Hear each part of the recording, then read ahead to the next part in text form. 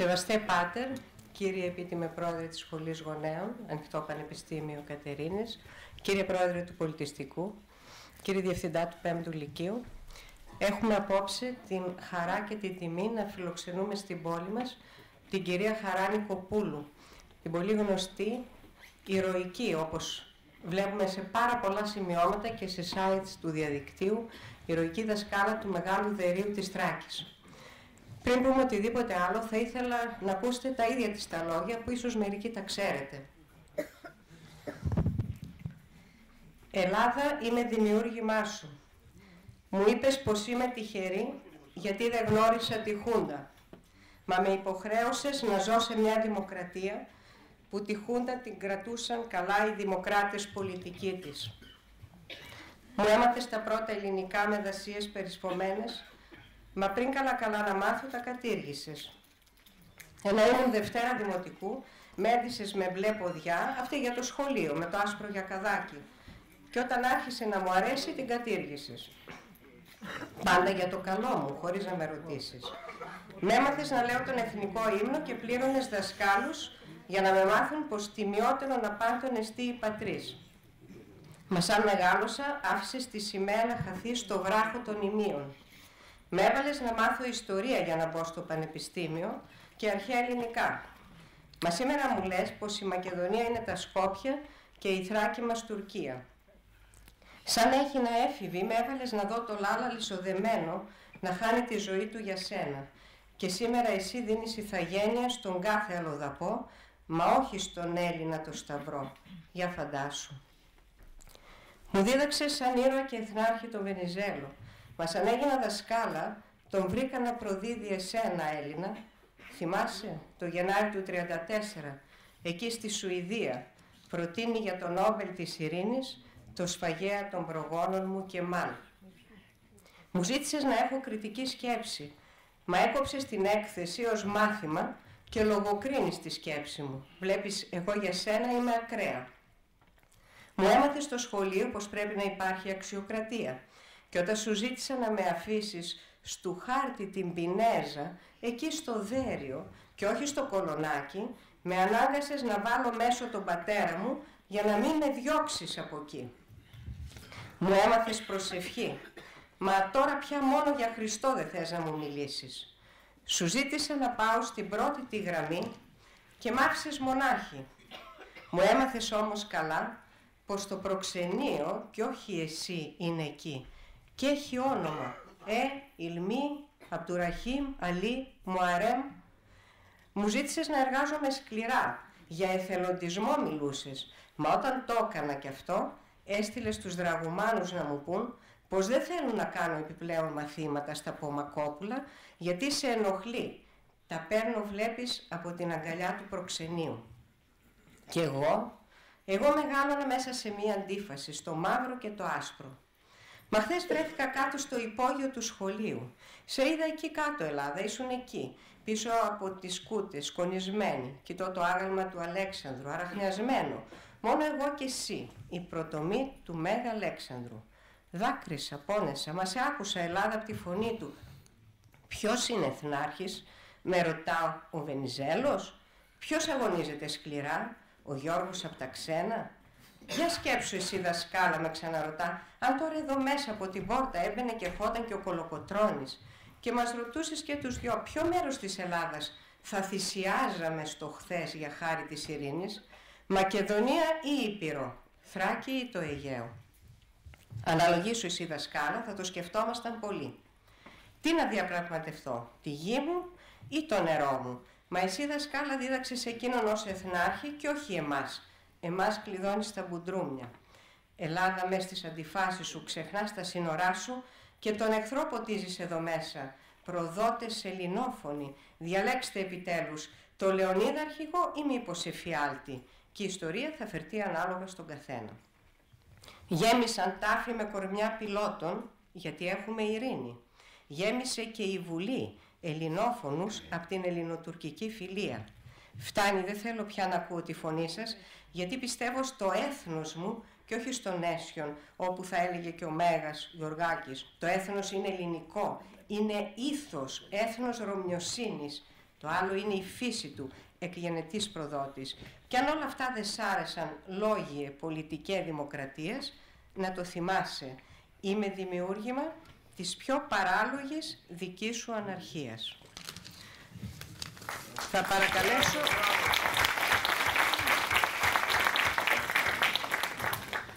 Ε, αν και επίσημα δεν έχουμε κάποιο βιογραφικό, βέβαια είναι τόσο νεαρή η κυρία Νικοπούλου, αλλά έχει κάνει τόσα πολλά σε λίγα χρόνια, ό,τι νομίζει ο κύριος Μαρούδης να μας πει για το βιογραφικό. Η κυρία Χαρά Νικοπούλου γεννήθηκε και μεγάλωσε στη Θεσσαλονίκη, όπου και τελείωσε το παιδαγωγικό τμήμα δημοτικής εκπαίδευσης. Όσο και να ψάξαμε, παρά τη μεγάλη προσφορά της και τα πολλά και σημαντικά που έχει καταφέρει, δεν έχουμε βρει άλλα στοιχεία, γεγονός που δείχνει την ε, αξιοπρέπειά της, τη σεμνότητά της. Κυρία Νικοπούλου, έχετε το λόγο.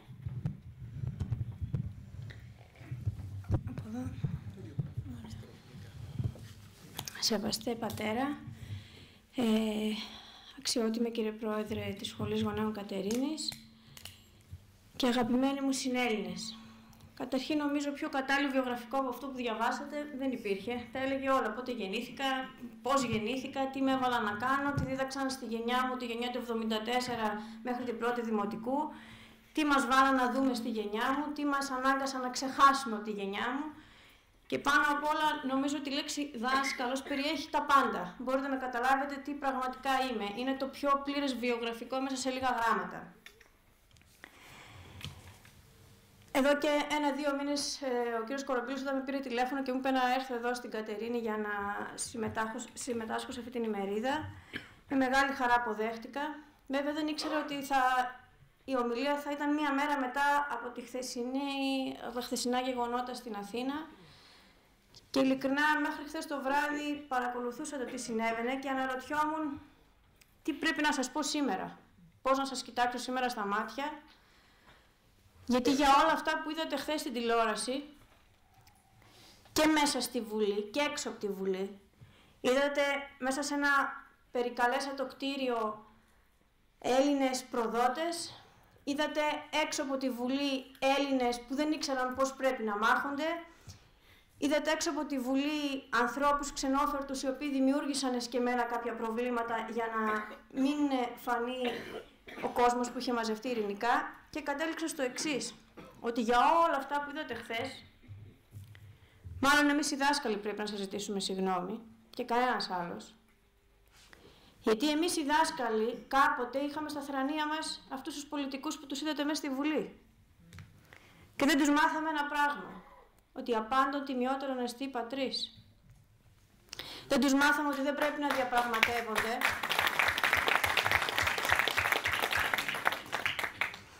Να παρακαλέσω αυτό που παρακαλώ πάντα στις ομιλίες. Βλέπω και ανθρώπου που έχετε ξανάρθει και τα έχετε ξανακούσει. Τι παρακαλώ. Δεν είναι ομιλία, είναι μάθημα. Στην τάξη λοιπόν, όταν διδάσκω τους μαθητές μου, κανένας μαθητής δεν χειροκροτάει. Εμείς όμως δεν είμαστε μαθητές. Εγώ έχω έρθει για να κάνω μάθημα. Ναι, οπότε. Θα είμαστε μαθητές. Οπότε γυράσκω ή διδασκόμενος. Γυράσκω ή διδασκόμενος, έλεγαν οι αρχαίοι. Άρα εγώ σας βλέπω ως πολύ αγαπημένους μου μαθητές. Σας εντάσσω στην ομάδα των μαθητών μου και όπως και οι μαθητές μου είναι άτακτοι, οπότε είστε ευχάριστοι μαθητές. Οπότε όπως τα δικά μου Πομοκόπουλο είναι μαθητές μου, οι υπόλοιποι ε, ακροατές μου είναι μαθητές μου, σας εντάσσω με πολύ αγάπη και εσάς. Λοιπόν, οπότε να μην χειροκροτάμε για να μην χάνω και τον ήρμο και για να μην μοιάζει και σαν θεατρική παράσταση όλο αυτό. Έλεγα λοιπόν ότι κάποιος δάσκαλος δεν έμαθε σε αυτούς τους πολιτικούς ότι δεν διαπραγματεύεται ούτε η γη μας ούτε το νερό μας. Κάποιος δάσκαλος δεν δίδαξε σε αυτούς τους κουκουλοφόρους ότι όταν θέλεις να διαπραγματευτείς κάποια πράγματα ή όταν θέλεις να σηκώσεις το λάβαρο της Επανάστασης, θα έπρεπε να ανατρέξει την ιστορία. Ο Καραϊσκάκη φορούσε κουκούλα. Ο Κολοκοτρόνη φορούσε κουκούλα. Και έγαν μήπως στα σπίτια των συνελίνων τους ο Καραϊσκάκης και ο Κολοκοτρόνη ή λέγαν φωτιά και τσεκούρι στους προσκυνημένους και στους ξένους. Θα πρέπει να έχουμε διάκριση, θα πρέπει να προσέχουμε κάποια πράγματα και το κυριότερο θα πρέπει να διεκδικούμε να έχουμε σωστούς δασκάλους. Ο προβληματισμός μου λοιπόν ήταν έντονος και κατέληξα πως ίσως να είναι πιο επίκαιρη από ποτέ η τριλογία αυτή που επέλεξα σήμερα να μοιραστώ μαζί σας. Το τρίτο μέρος της έχει γραφτεί εδώ και καιρό, τα δύο πρώτα ε, γράφτηκαν τις τελευταίες μέρες είναι μια τριλογία. Το όνομα της τριλογίας λέγεται «Η Ημαρμένη Ζή».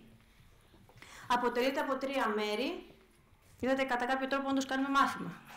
Το πρώτο μέρος του μαθήματος της τριλογίας λέγεται «Η αρετή των αρετών». Το δεύτερο μέρος λέγεται «Οι πεπτοκότες του ελάνιου τάγματος». Και το τρίτο μέρος είναι «Η Μαρμένη Ζή». Έχουν μία σύνδεση αυτά τα τρία μέρη. Ξεκινάμε στην ουσία ο καθένας θα εντάξει τον εαυτό του σε ένα από αυτά τα τρία μέρη της τριλογίας. Θα δει που βρίσκεται, στο πρώτο, στο δεύτερο, στο τρίτο. Θα καταλήξουμε όμως σε ένα πράγμα τελειώνοντας αυτή τη τριλογία. Ότι για όλους μας η ημαρμένη μας είναι ζωντανή. Για να καταλάβουμε ότι είναι ημαρμένη θα πρέπει να εξηγήσουμε, κυρίως ετοιμολογικά, προέρχεται από το αρχαίο ελληνικό ρήμα μύρωμε που θα πει το μερίδιο που μου αναλογεί.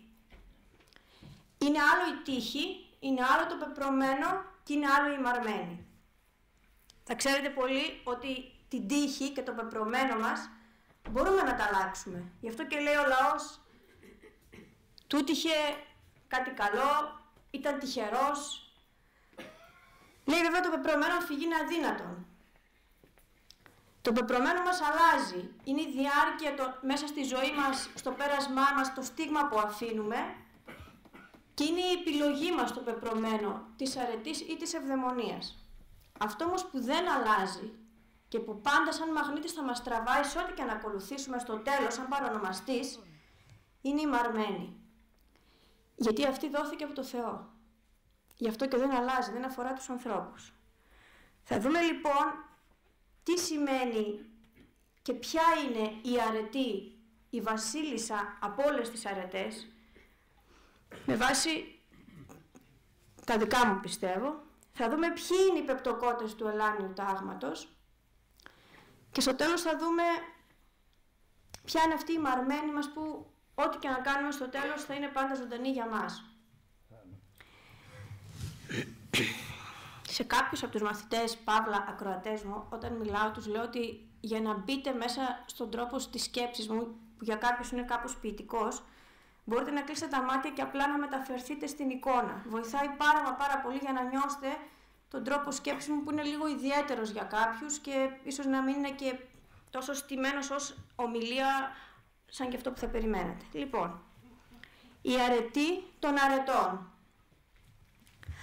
Από αιώνες μακρινούς και από χρόνους θείους, από αρχαίους φιλόσοφους και ρήτορες μεγάλους, ορίστηκαν στο έθνος μας οι αρετές του ανθρώπου. Υμνήθηκαν μέσα από ποίηση και αρχαία τραγωδία. Υμνήθηκαν από ιερείς του Δία και του Χριστού μας και όρισαν γενναίες ανθρώπων εν οδό Αγίων να πορεύονται, πάντα προς το Θείον.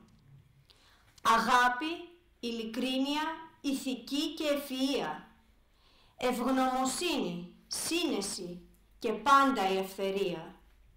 Δικαιοσύνη, ευγένεια, εγκράτεια και αυτογνωσία. Ελεημοσύνη, άσκησης, ακρίβεια και αλήθεια. Δύο στρατόπεδα επάντρωσαν για να αλληλοπολεμήσουν. Η αγάπη πάντα να φυλά το μίσος που τη θλίβει.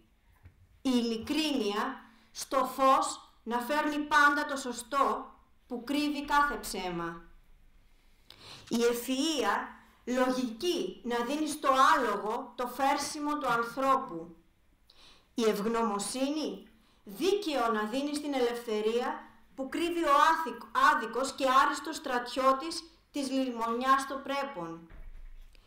Και πολεμούν οι ασκητές, γεμάτοι καλοσύνη, να σβήσουν με την πέδευση την οσυρή ραστόνη του μυαλού τους. Μα πριν ορίσει ο Θεός τις αρετές του γένους, πριν τις φυτέψει μέσα μας, την ώρα της ζωής μας, παιδεύτηκε σκληρά πολύ για να δαμάσει και να ορίσει μία ανώτερη και αέναη αρετή. Αυτή που ορίζει πάντα το φως, που σβήνει το σκοτάδι. Αυτή που καίει το νερό και δίνει την ανδρεία. Αυτή που κάνει ήρωα τον κάθε άνθρωπο. η αρετή των αρετών. Να είσαι Έλληνας. Να είσαι το φως πάνω στη γη που πήρε κρυφά ο Προμηθέας. Είμαι Έλληνας, θα πει πως είμαι από την Ελλάδα. Πως μένω μέσα σε νομούς που ορίζονται στα σύνορά μας. Μήπως σημαίνει να μιλώ μια γλώσσα θεία που δεν ορίζω γιατί ποτέ δεν έμαθα σωστά και από το σχολείο την εξορίζω; Μα όχι βέβαια. Δεν είναι αυτό που γρήγορα και άκρητα θα ορίσει ο αναγνώστης του κειμένου. Είμαι Έλληνας, θα πει πως έχω μέσα μου την πιο μεγάλη, θεία αρετή.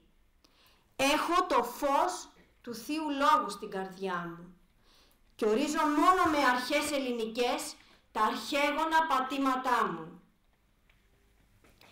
Για χάρη αυτής της αρετής που ελάνιο φως ονόμασαν οι αρχαίοι, ο Προμηθέας σταυρώθηκε και έγινε θυσία για να γεννεί ο άνδρας Έλληνας και να έχει φως μέσα στην ψυχή του. Για να γεννήσει μάνα τα παιδιά που θα γεννούνε ως φόροι της ελπίδος.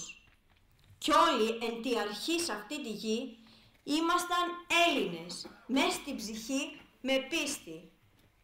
Κερί αναμένο από φωτιά, που πήρωνε η αλήθεια και η γνώση.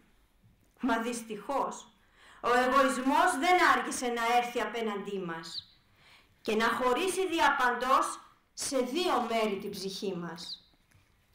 «Γίνε εσύ ο ίδιος ο Θεός», μας είπε η αλαζονία και κάτι τότε έσπασε και έσβησε η δάδα.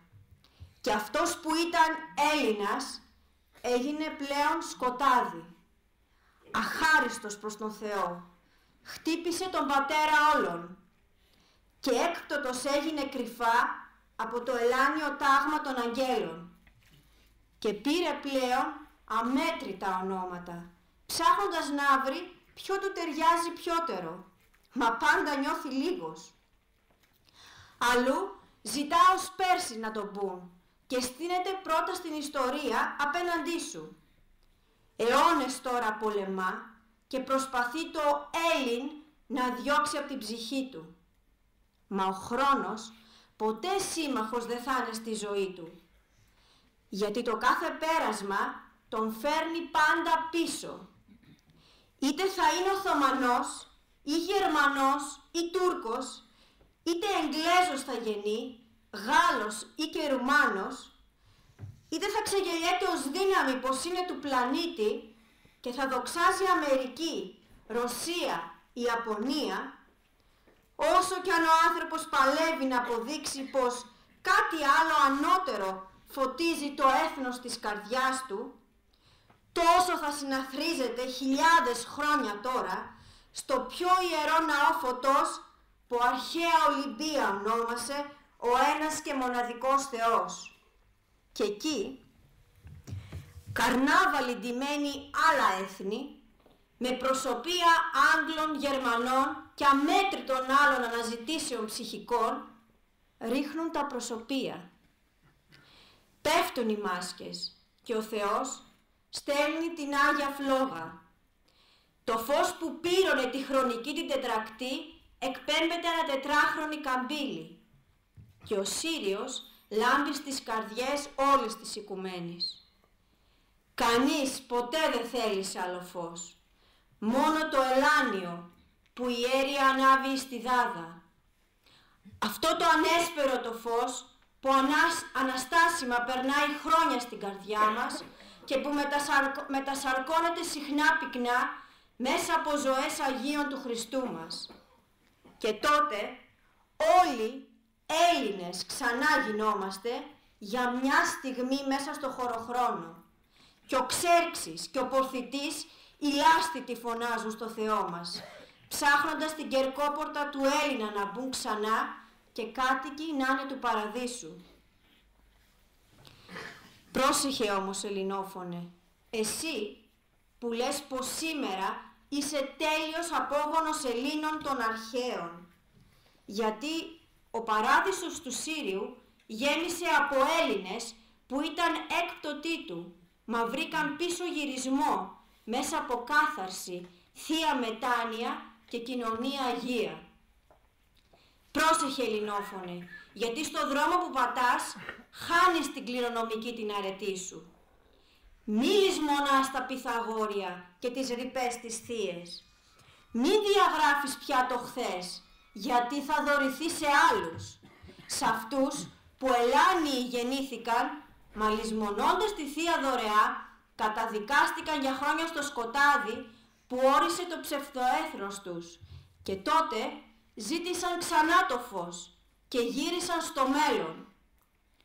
Μην απορρίσεις πλέον Έλληνα, αν άλλος Έλληνας γεννήθηκε μέσα στο χωροχρόνο και ο Προμηθέας το φως του ξαναέδωσε για να το σώσει από σένα. Γιατί εσύ το έθαψες, λησμόνησες την αρετή τη Θεία. Πάντα η κάθαρση προαιώνια θα έρχεται μέσα από μία τραγωδία. Αυτό ήταν το πρώτο μέρος της τριλογίας, η αρετή των αρετών. Όπως βλέπετε, κατά τη δική μου την άποψη, το να είσαι Έλληνας δεν αφορά το έθνος μας, δεν αφορά μια, έναν εθνικό αυτοπροσδιορισμό. Ετυμολογικά Έλληνας θα πει «ελ» και «λάς» το φως πάνω στην πέτρα. Και δεν εννοούμε το φως του ήλιου, είναι ένα πνευματικό φως. Όλοι οι άνθρωποι αυτής της γης έχουν γεννηθεί με αυτό το φως μέσα τους. Έχουν γεννηθεί Έλληνες, όλοι. Έχουν γεννηθεί με αυτές τις ψυχικές μνήμες. Και όλοι έχουν μπει σε μία αναζήτηση να επιστρέψουν σε αυτό που ήταν κάποτε. Το θέμα είναι ότι εμείς που έχουμε και εθνικά γεννηθεί Έλληνες, μήπως πλέον δεν ανήκουμε στην ομάδα αυτού του ελάνιου τάγματος. Για να δούμε, δεύτερο μέρος. Οι πεπτοκότες του ελάνιου τάγματος. Το να είσαι Έλληνας θαρό δεν είναι από γένα. Καμιά μητέρα και κανείς βρωτός δεν όρισαν την πόλη. Κανείς δεν βγήκε στρατηγός χωρίς να το ορίσει η μοίρα. Και η μαρμένη όρισε να μένουν πάντα λίγοι ανάμεσα από τα στενά που ορίζουν την Ελλάδα. Η γένα αυτή δεν έγινε στο χθες, στο σήμερα, στο αύριο, μα γράφτηκε στο είναι μας την ώρα του πολέμου. Μα ο Θεός, στο ξεκαθάρισμα της πτώσης των αγγέλων, εκεί που όρισε εκ δεξιών τα θεία τάγματά του, τους Έλληνες συνάθρισε, κοιτώντας τους τα μάτια. Και μια απάντησή τους ήθελε, για να μην πέσουνε στον Άδη. Και ο Έλληνας, με ανάστημα και με κορμοστασιά στο πνεύμα, το χέρι ακούμπησε εις το σπαθί και του με ευλάβεια «Στόμεν καλός, στόμεν μεταφόβου». Και από εκείνη τη στιγμή γεννήθηκε το τάγμα των Ελλήνων. Αυτό που είχε πάντα τα φτερά μέσα εις την ψυχή του. Που πάντα πέταγε ψηλά και όριζε στα μάτια το ελάνιο πνεύμα. Αμέτρητοι οι άγγελοι στο τάγμα του Συρίου, αμέτρητη και ατρόμητη στη φάλαγγα που φύλαγε τις θερμοπύλες. Ο φτερωτός Ερμής στεφάνωσε τον φτερωτό Λεωνίδα και ο Απόλλωνας υπόσχεση επανίδρυσης χάρισε στον Παλαιολόγο και τα φτερά της Λευτεριάς άνοιξαν το 21 με Ανδρία και πέταξαν ψηλά οι Έλληνες χαρίζοντας το μέλλον το έπος του 40. Μα ξάφνου μπήκε μέσα στα φτερά, μέσα στο πνεύμα και στο ελάνιο το φως μας, ένα μικρό αγκάθι συμφοράς. Αυτός ο ατέλειωτος, ο αιώνιος εχθρός μας. Αυτός που λέρωνε ανέκαθεν τα άσπρα τα φτερά και οδήγαγε στην πτώση των αγγέλων. Και για Θεό δεν όριζε το φως, μα το εγώ που μίλαγε και οθούσε κάτω τις ψυχές μας. Εγώ δεν είμαι Έλληνας, δεν είμαι πλέον ένας, δεν είμαι ο κανένας.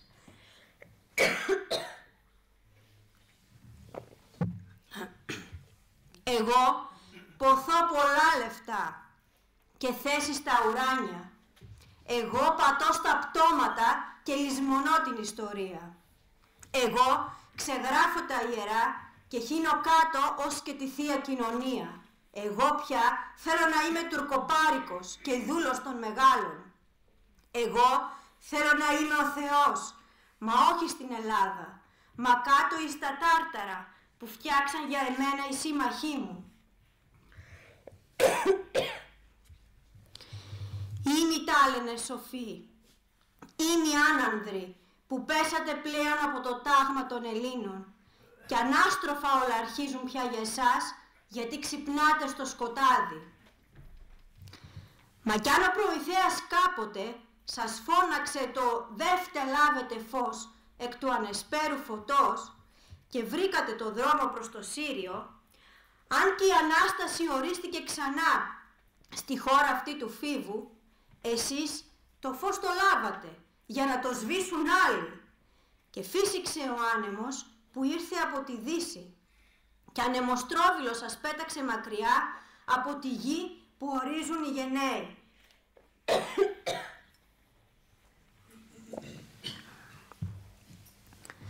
Ποιος έφυγε από Ανάσταση για να βρει πάλι τα καρφιά που θα το ρίξουν πάνω στο σταυρό του; Ποιος έσβησε το φως για να κοιτάξει το σκοτάδι; Ποιος ξέχασε την τετρακτή και το σταυρό και άφησε το σύμπαν και τα θεία; Όποιος το τάγμα άφησε που ορίζουν οι γενναίοι, δεν είναι άξιος να λέγεται πια Έλληνας.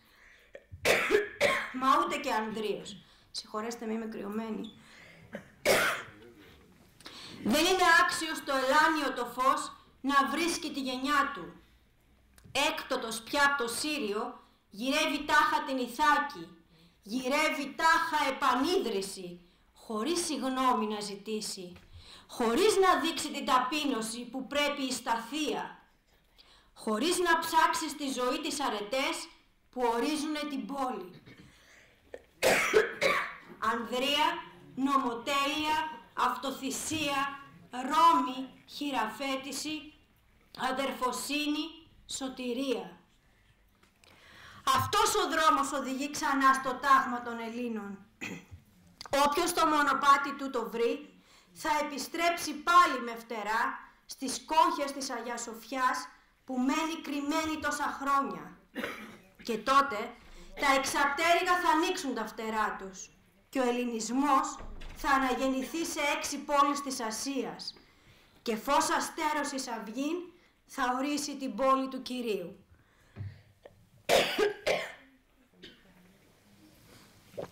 Τελειώνει λοιπόν και το δεύτερο μέρος της τριλογίας. Όπως βλέπετε, εμείς που ήμασταν δυο φορές Έλληνες, που γεννηθήκαμε με το ελάνιο φως, αυτό που ο Προμηθέας, αυτό που ο Ιησούς Χριστός μας χάρισε απλόχερα, ενώ γεννηθήκαμε και εθνικά Έλληνες, εμείς προβάλαμε περισσότερο μέσα μας όχι αυτό το φως, αλλά τον εγωισμό μας. Προτιμήσαμε να γίνουμε εμείς οι ίδιοι θεοί, προτιμήσαμε να πετάξουμε την ιστορία μας, προτιμήσαμε να κυρώσουμε όλους τους αγώνες που ήταν η κληρονομιά μας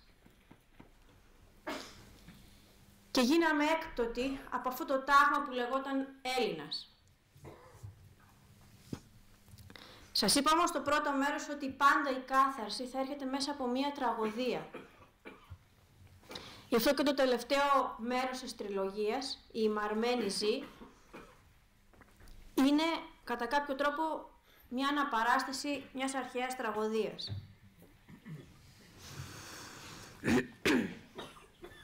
Άρχεται η συνεδρίασης και η δίκη αρχίζει. Η πόρτα άνοιξε από το χθες και θείο φως ελάνιο προμήνυε την έλευση ανθρώπων του δικαίου. Και να, με το σπαθί του νόμου μπαίνουν ως δικαστές οι ήρωες που πέθαιναν για Ελλάδα. Καραϊσκάκης και Νικηταράς, Νιάουλης Μακρυγιάννης, Λεωνίδας Λακεδαίμονας και Αλέξανδρος Ωμέγας.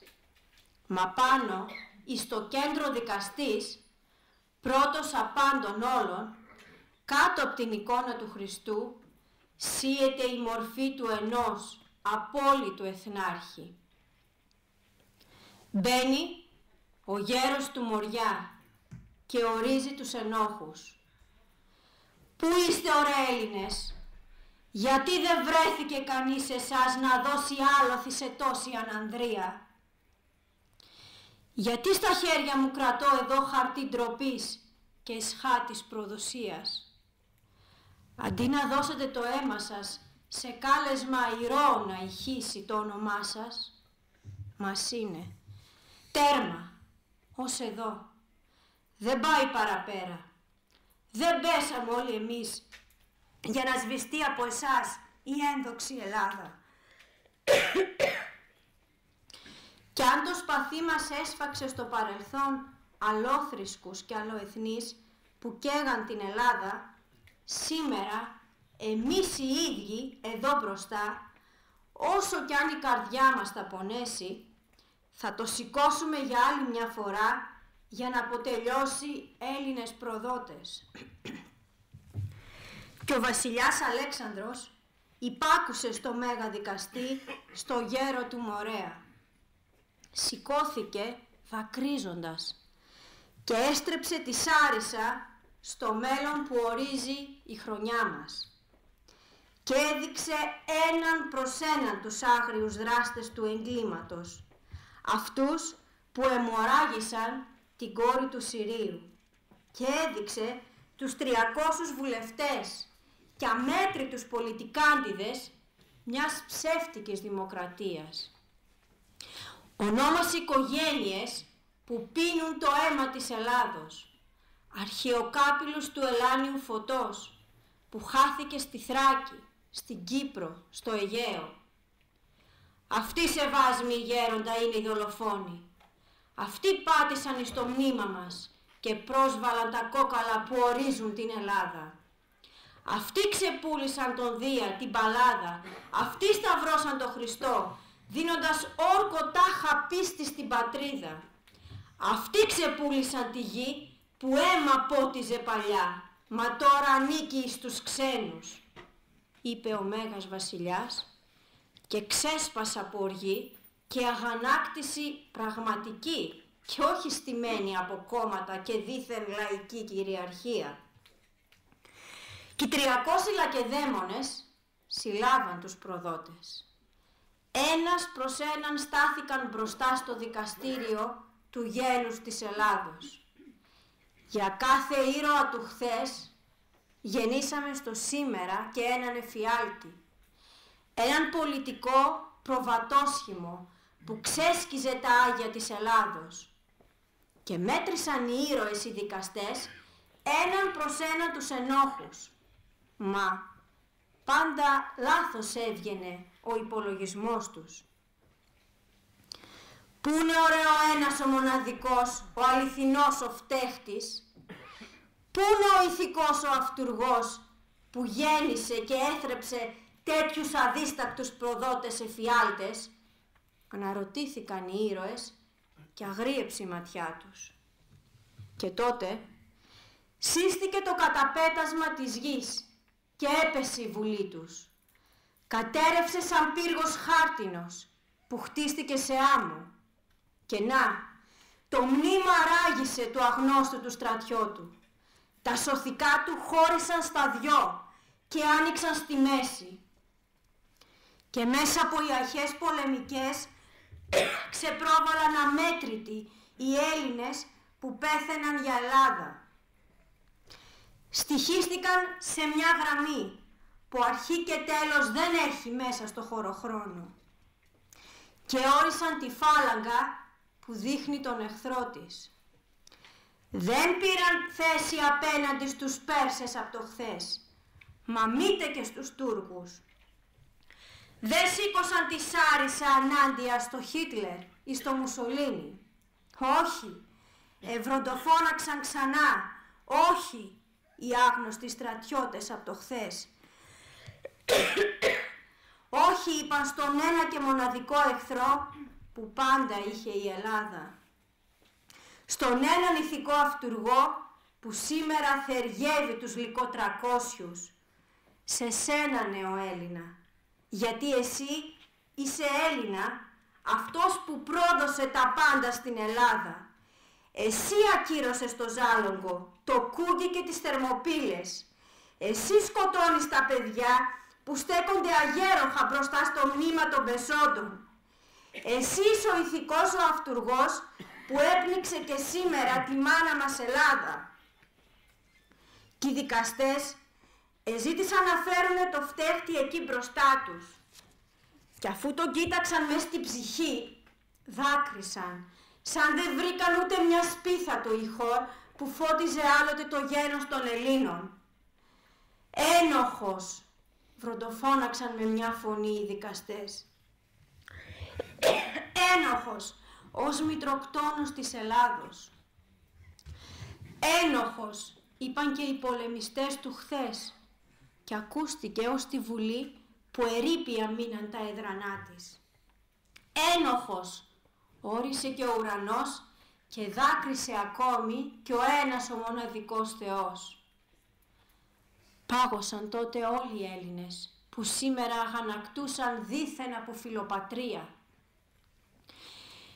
Πώς να μπορέσεις να σταθείς απέναντι σε ήρωες που πλήρωσαν με το αίμα τους τη λευτεριά της μάνας τους Ελλάδας; Πώς ξεγελιέται ο Νικηταράς, ο Μακρυγιάννης και οι άλλοι; Πώς τάχα να τους πείσεις πως είμαστε απόγονοι εκείνων και ανδροί. Και η ποινή ορίστηκε σκληρότερη και από το γουδί και πιο στενή και από αγχώνη. Κανείς ποτέ ξανά από μας δεν έχει το δικαίωμα να λέγεται Λεωνίδας. Κανείς ποτέ ξανά να μην λεχθεί πως είναι Έλληνας και γιος της Αθηνάς Παλάδας. Κανείς ποτέ ξανά να μην υπερηφανευθεί πως είναι ο Παρθενών δικός του, πως είναι γόνος του πολιτισμού, πως ο Σύριος όρισε ως φως πάνω στην πέτρα. Καταδικάστηκες νεοέλληνα, δύσεις θάνατον, πνευματικών, να ζεις μες στο σκοτάδι. Και αντί ως Έλληνας που ήσουνα, θα είσαι ο άρχοντας του σκότους. Μα η ημαρμένη αντέδρασε σε τούτη την ποινή και φώναξε σε όλους. Έσετε ημαρ, ότε αν το φως γεννήσετε εις πόλη Κωνσταντίνου και κλάμα μικρού παιδός ηχήσετε ξηρίου, τότε η επανίδρυση ορίσει πάλι το νέο γένος. Πάλι με χρόνια και καιρούς, πάλι δικά μας θα είναι. Μόνο που αυτό το τέλος δεν αναφέρεται στην πόλη, αλλά στο να ξανακερδίσουμε την ελληνική ψυχή μας. Αυτή είναι η τριλογία που ήθελα σήμερα να μοιραστώ μαζί σας. Περισσότερο είναι η απεικόνηση αυτού που ένιωθα έξι χρόνια στο Δέριο, στον Πογμακοχώρη, που ήμουν δασκάλα. Μας χώριζε στην ουσία ένα μεγάλο βουνό, η Σάπκα. Εγώ ήμουν πίσω από το βουνό και εσείς ήσασταν πίσω από το βουνό. Αλλά και οι δύο ήμασταν μέσα στην Ελλάδα. Εγώ ήμουν ανάμεσα σε χίλιους μουσουλμάνους, εσείς ήσασταν ανάμεσα, δεν θέλω να πιστεύω ότι ήσασταν στους έκπτωτους του Ελλάνιου Τάγματος, αλλά ανάμεσα σε έκπτωτους του Ελλάνιου Τάγματος.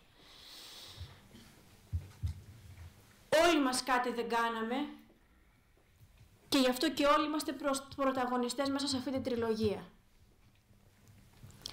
Και πρώτα απ' όλα πιστεύω πως εγώ και ως Χαράνικοπούλου και ως δασκάλα δεν έκανα αυτό που έπρεπε μέχρι τέλους. Είναι σημαντικό να αναλαμβάνουμε τις ευθύνες μας για να προλάβουμε κάποια πράγματα και όχι για θεραπευτικούς λόγους.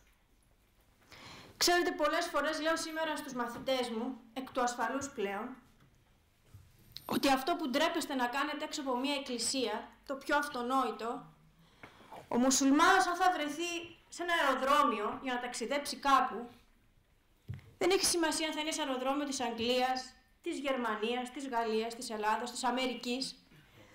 Αν η ώρα είναι 5 το πρωί, αν είναι 1, αν είναι 5 το απόγευμα, 8 και 11, θέλετε να σας πω τι θα κάνει.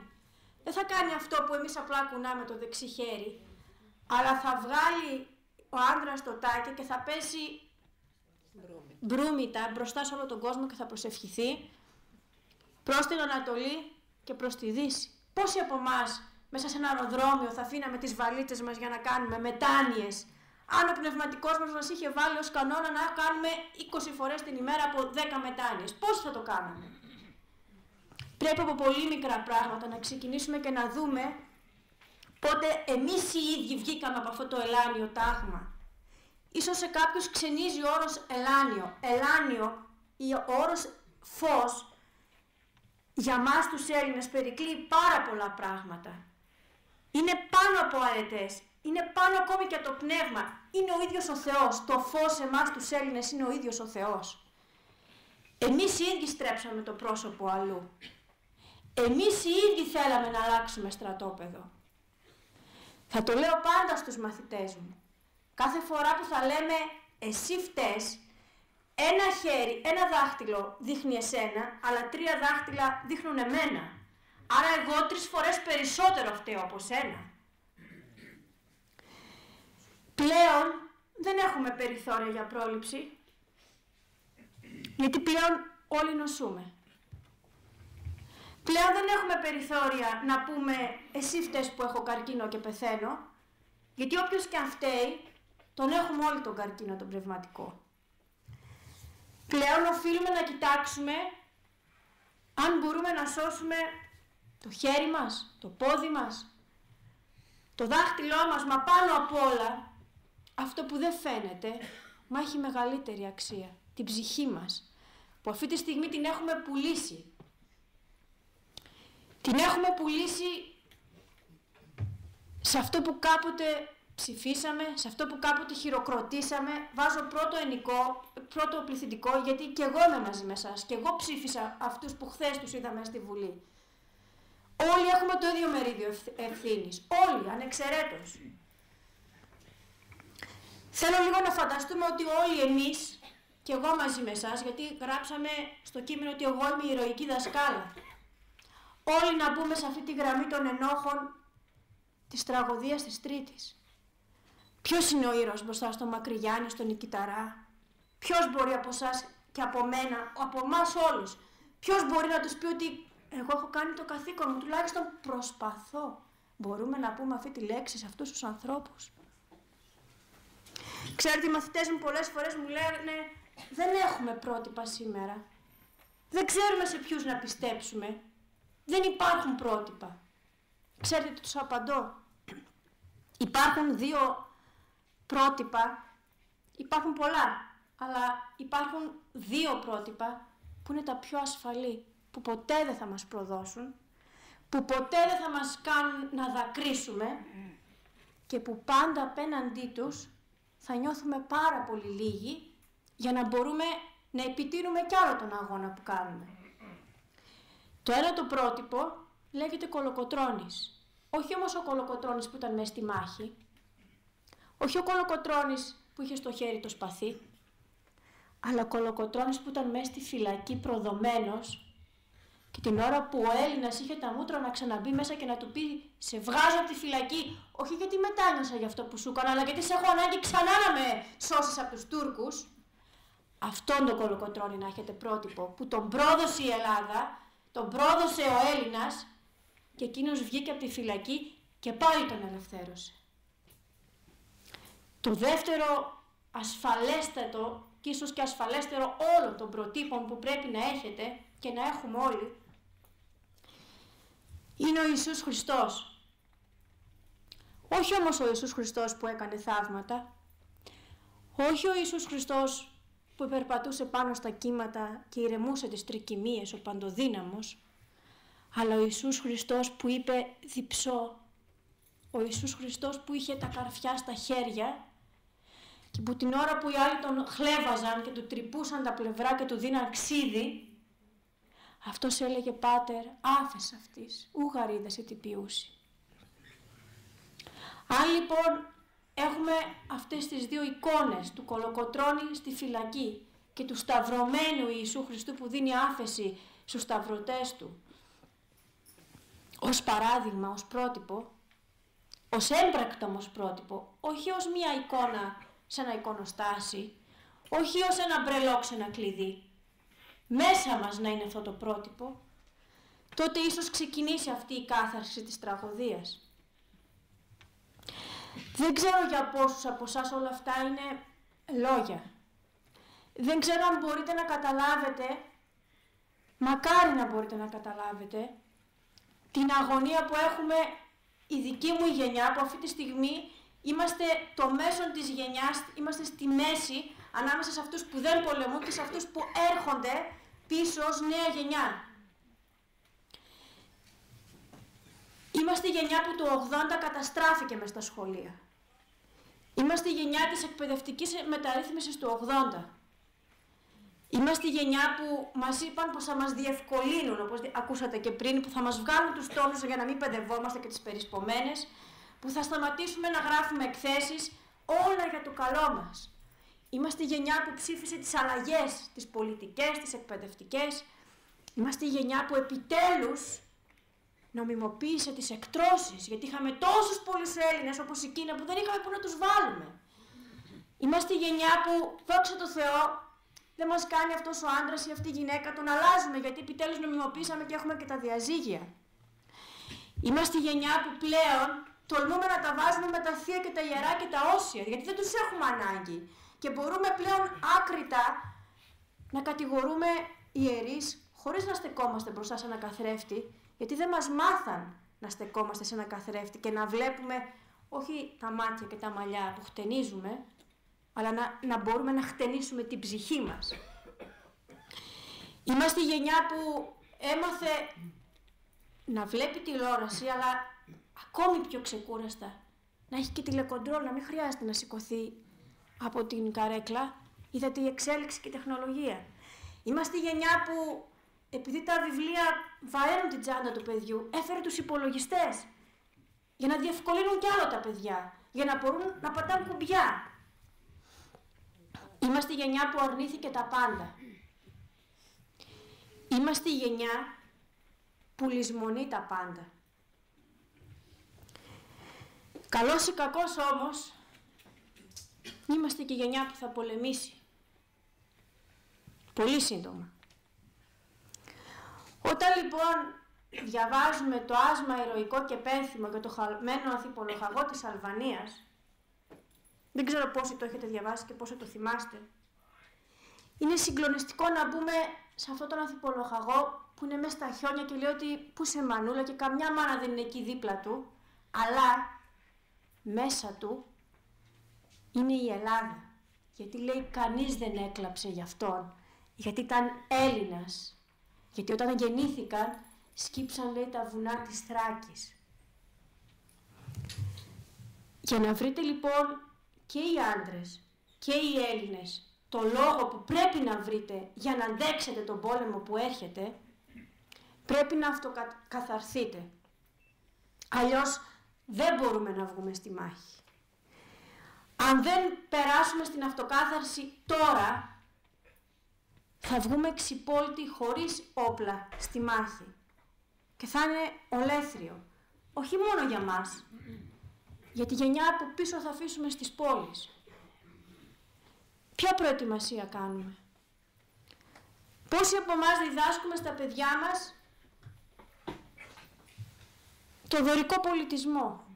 Πώς τον έχουμε διδάξει; Θέλετε να σας πω πώς μεγάλωσα εγώ, δεν εννοώ στην οικογένειά μου, ποια ποιος ήταν ο κοινωνικός περίγυρός μου; Και όχι γιατί ήμουν μια κοπέλα πλουσίων, αλλά από το 98 και μετά που γύρισα όλες τις πινέζες του χάρτη, Ζάκυνθο, Τολοκαρνανία, Ήπειρο, Κομωτινή, μετά στα απομακοχώρια, έχω γυρίσει σε πάρα πολλά μέρη. Άκουγα πάντα, εμείς έχουμε ένα διθέσιο κάμπριο και εμείς έχουμε και μία μεζονέτα και εμείς θα πάμε για σουβλάκια και εμείς θα πάμε για μπριζόλες και ήταν και Τετάρτη και Παρασκευή, αλλά τι φέρει το μαγείρεψη η μαμά, κοτόπουλο στο φούρνο με πατάτες. Ξέρετε, πάλι κάνει κύκλο η συζήτηση, δεν υπήρχε ένας δάσκαλος να διδάξει σε αυτές τις μανάδες όταν ήταν μικρές και σε αυτούς τους μπαμπάδες που φρόντιζαν για την πριζόλα και τις μεζονέτες, ότι πρέπει τα πόδια μας να τα βγάζουμε μέχρι εκεί που είναι το πάπλωμά μας, για να μην χρειάζεται να δανειστούμε Γιατί ο καθένας από εμάς δανείζονταν για να μπορεί να έχει το κάμπριο, να έχει οτιδήποτε άλλο. Σε αυτά τα μικρά παιδάκια που μεγάλωσαν σε μεζονέτες και σε μερσεντές και σε οτιδήποτε άλλο, καμιά, καμιά μαμά και κανένας μπαμπάς δεν έσκυψε να του πει αυτό το σπίτι παιδί μου που βλέπεις δεν είναι του μπαμπά, είναι της τράπεζας. Κι αν ο μπαμπάς έχει λεφτά θα το αποπληρώσει. Καμιά μαμά και κανένας μπαμπάς δεν είπε στο παιδί του αυτό το αυτοκίνητο το ωραίο, το σπορ που βλέπεις παιδί μου, είναι της τράπεζας. Κι αν ο μπαμπάς έχει λεφτά θα το αποπληρώσει. Και μεγάλωνε το παιδί σε μια ουτοπία. Και σήμερα αυτό το παιδί λέει, μα ο μπαμπάς μου δεν άλλαξε, ούτε δουλειά, ούτε τίποτα. Γιατί χθες είχε και σήμερα δεν έχει. Τι άλλαξε; Προσεγγίστε αλλιώς τα παιδιά σας και τα εγγόνια σας και τα παιδιά σας και τα ανήψια σας και τα βαφτιστήρια σας όπου βλέπετε μικρά παιδιά. Κάντε την αρχή ξεκινώντας από τα απλά πράγματα. Πλέον δεν σας λέω μην πάρετε δάνεια, γιατί και να θέλετε κανείς δεν θα σας δώσει. Τόσο φερέγγι είμαστε. Θα σας πω όμως το εξής. Είναι το πιο απλό, η πιο απλή συμβουλή που μπορώ να δώσω για να ξεκινήσετε την κάθαρση. Μια μέρα που να είναι Κυριακή, και όχι καθημερινή, αλλά Κυριακή πρέπει να είναι, που θεωρούν τα παιδιά ότι είναι γιορτινή μέρα, κυρίως γιατί ούτε εκείνη τη μέρα δεν υπάρχουν φροντιστήρια, ούτε πιάνο, τα αγγλικά θα πάνε. Η Κυριακή είναι καθαρά η μέρα για το σπίτι, για βόλτες, και που το ψυγείο θα έχει έστω και το πιο φθηνό ζαλάμι, έστω και το πιο φθηνό τυρί, αλλά θα υπάρχουν μέσα στο ψυγείο να υπάρχουν αυτά. Έστω και το πιο φθηνό κρέας, αλλά να υπάρχουν, να τα δει το παιδί, ότι το ψυγείο είναι γεμάτο Εσείς μη στρώστε το τραπέζι της κουζίνας, αλλά στρώστε την τραπεζαρία την καλή με το καλύτερο τραπεζομάντιλο. Και βγάλτε τα καλύτερα σερβίτσια που αγοράσατε έστω και με δάνεια. Βγάλτε τα πάνω στο τραπέζι και φτιάξτε μια ωραία πιατέλα στη μέση που θα έχει σκέτο ζυμωτό ψωμάκι και ελιές. Και βάλτε την στο κέντρο του τραπεζιού και καλέσετε τα παιδιά να φάτε όλοι μαζί. Και να τους πείτε ότι εκείνη την ημέρα έχετε γιορτή και ότι θα φάτε το ευλογημένο προϊόν της Ελλάδος, την ελιά, που ανέκαθεν για μας ήταν δείγμα πολιτισμού και μήνυμα σοφίας και ειρήνης και ελευθερίας. Και δείξτε τους πως δεν τρώτε ελιές γιατί πεινάτε, αλλά τρώτε ελιές γιατί είστε Έλληνες. Βλέπετε ακόμη και η ελιά μέσα της έχει το πρόθεμα «ελ» που θα πει φως. Αρχίστε λοιπόν από το υλικό φως ξεκινήστε τρώγοντας ψωμί με ελιές τώρα που ακόμη έχετε να φάτε. Για να περάσετε το μήνυμα στα παιδιά πως ο Έλληνας ό,τι και να γίνει δεν μπορεί να πεινάσει. Και όταν αύριο μεθαύριο τα παιδιά θα δουν ότι το ψυγείο δεν έχει εκείνο το σαλάμι που θα δουν σήμερα και την πριζόλα, θα πούν δεν πειράζει εμείς θα φάμε ελιές και ψωμί. Περίπου αυτά ήθελα να μοιραστώ μαζί σας δεν θέλω να πω τι είχε γίνει στο δέριο, τι έζησα στο δέριο, γιατί το δέριο έχει έρθει εδώ κάτω. Οι χίλιοι μουσουλμάνοι που ήταν εκεί πάνω και κάναν το βίο-βίο σε μερικές Ελληνίδες δασκάλες, έχουν μπει μέσα σε όλους εμάς τους Έλληνες και μοιάζει ένα πέρα το δέριο όλη η Ελλάδα για μένα και νομίζω και για σας. Αν θα θέλω να κάνουν κάποιοι κάποιες ερωτήσεις, κάποιους προβληματισμούς να μοιραστούμε, είμαι στη διάθεσή σας. Να ευχαριστήσουμε πάρα πολύ την κυρία Νικοπούλου με έναν πολύ ασυνήθιστο πρωτότυπο ποιητικό λόγο που δείχνει την ευαισθησία της, τη γνώση της, το δασκαλικό της ήθος, καθρέφτησε και την κοινωνία μας, το σήμερα, τις ψυχές μας και νομίζω ότι μας θύμισε πολλές αξίες που τις είχαμε ξεχάσει. Μέχρι να σκεφτείτε κάποιες ερωτήσεις, θα παρακαλέσω τον πρόεδρο της Σχολής Γονέων, τον κύριο Κορομπίλη, να επιδώσει έναν αμνηστικό για να θυμάται η κυρία Νικοπούλου το πέρασμά της από την Κατερίνη.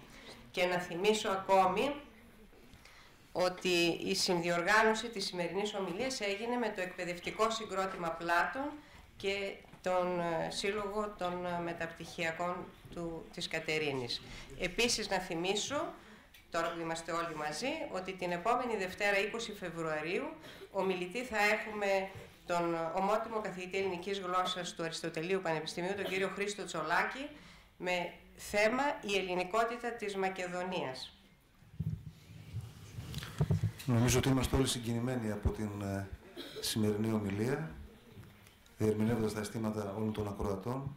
Και αγαπητή χαρά, σε ευχαριστούμε θερμά, θερμότατα, που έκανες τον κόπο, ήρθε 7 η ώρα, 7 και 4 και θα φύγει κατευθείαν, όλο το βράδυ θα ταξιδεύει, για το πρωί είναι μάχη με δασκάλα στην Αθήνα, για να είναι στα παιδιά της. Εδώ νομίζω ότι αξίζει το, το χειροκρότημα από όλους μας.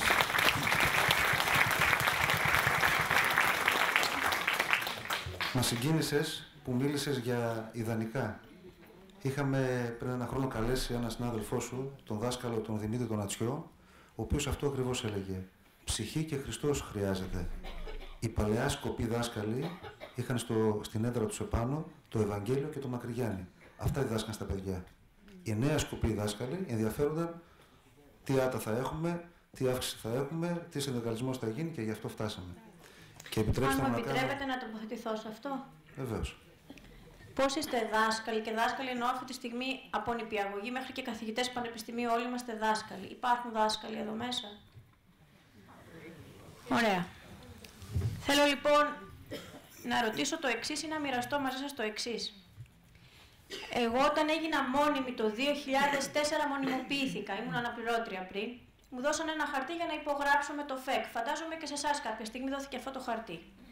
Πάνω λοιπόν έγραφε σήμερα τάδε τάδε του μηνός τα στοιχεία μου και έλεγε ότι ορκίζομαι να φυλάτω πίστη στο Σύνταγμα, στην πατρίδα και στους νόμους.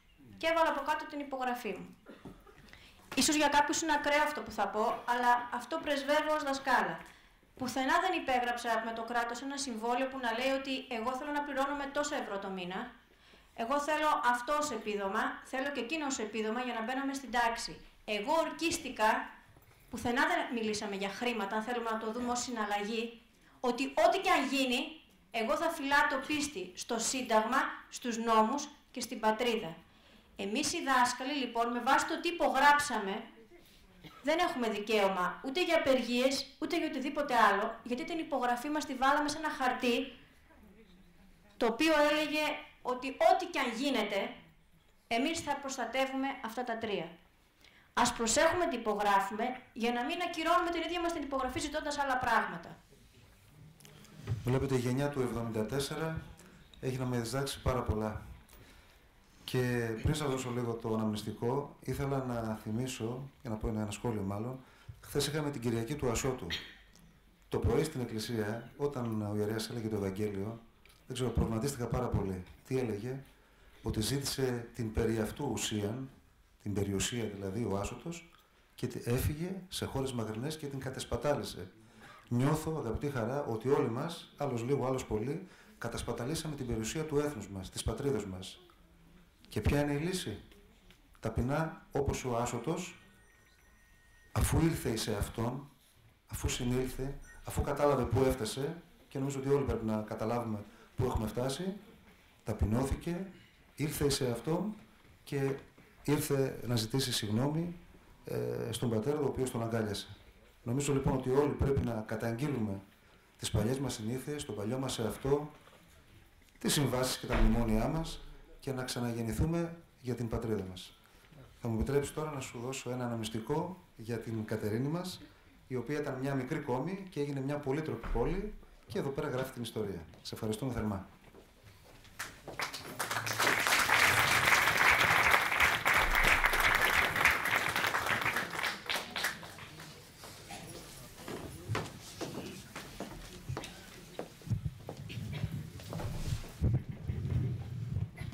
Παρακαλούμε όποιος έχει ερωτήσεις στο βήμα και θερμή παράκληση ερωτήσεις, όχι τοποθετήσεις. Παρακαλώ.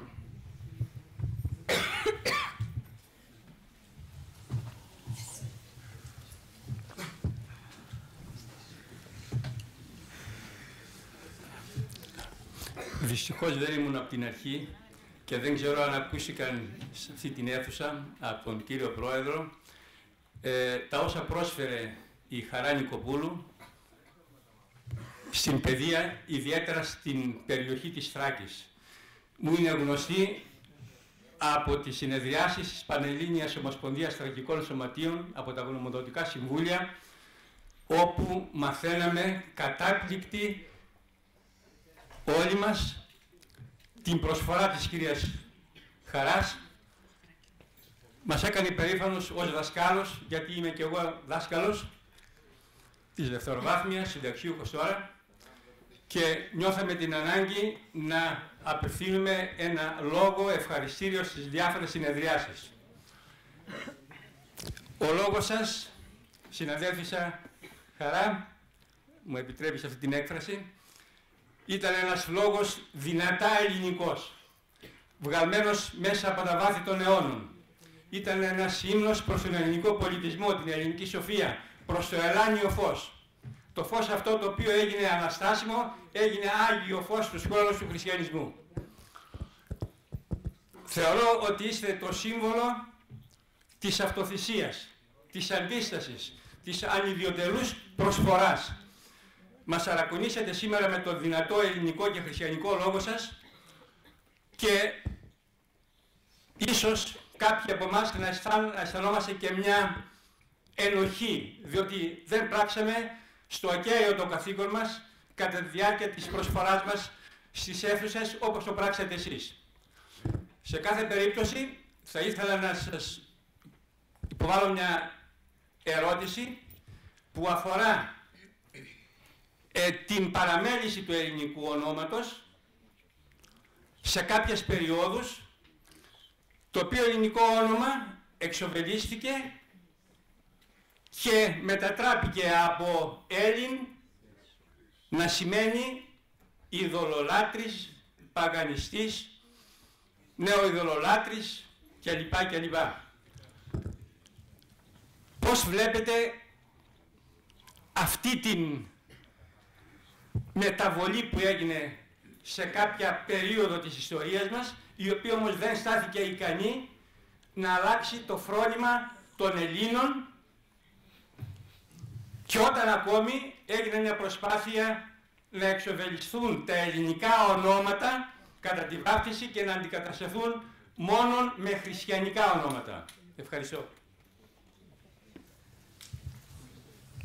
Τα ελληνικά ονόματα είναι χριστιανικά, πάνω απ' όλα. Ε, θα σας πω το εξής. Έχω μιλήσει τα τελευταία τέσσερα χρόνια σε όλες τις πινέζες του χάρτη της Ελλάδας έχω κάνει ομιλίες. Έχω μιλήσει σε μοναστήρια μέσα, σε μονές με γεροντάδες και έχω μιλήσει και σε ομιλίες, δεν θα πω δωθεκαθεϊστών, αλλά ανθρώπων που περασπίζονται την πατρόα θρησκεία. Ξέρετε τι έχω διαπιστώσει μετά από τόσες ομιλίες. Ότι στην ουσία μέσα στο χωροχρόνο που σας διάβασα πριν, γίναν κάποια λάθη από εμάς τους ίδιους. Εμείς οι ίδιοι αφήσαμε να διασπαστεί αυτή η συνέχεια του ελληνικού έθνους. Πρέπει να καταλάβουμε ότι ο πρόδρομος του χριστιανισμού είναι η φιλοσοφία της αρχαίας Ελλάδος. Για μένα ο πρώτος εθνομάρτυρας και μάρτυρας του Χριστού ήταν ο Σοκράτης, ακριβώς.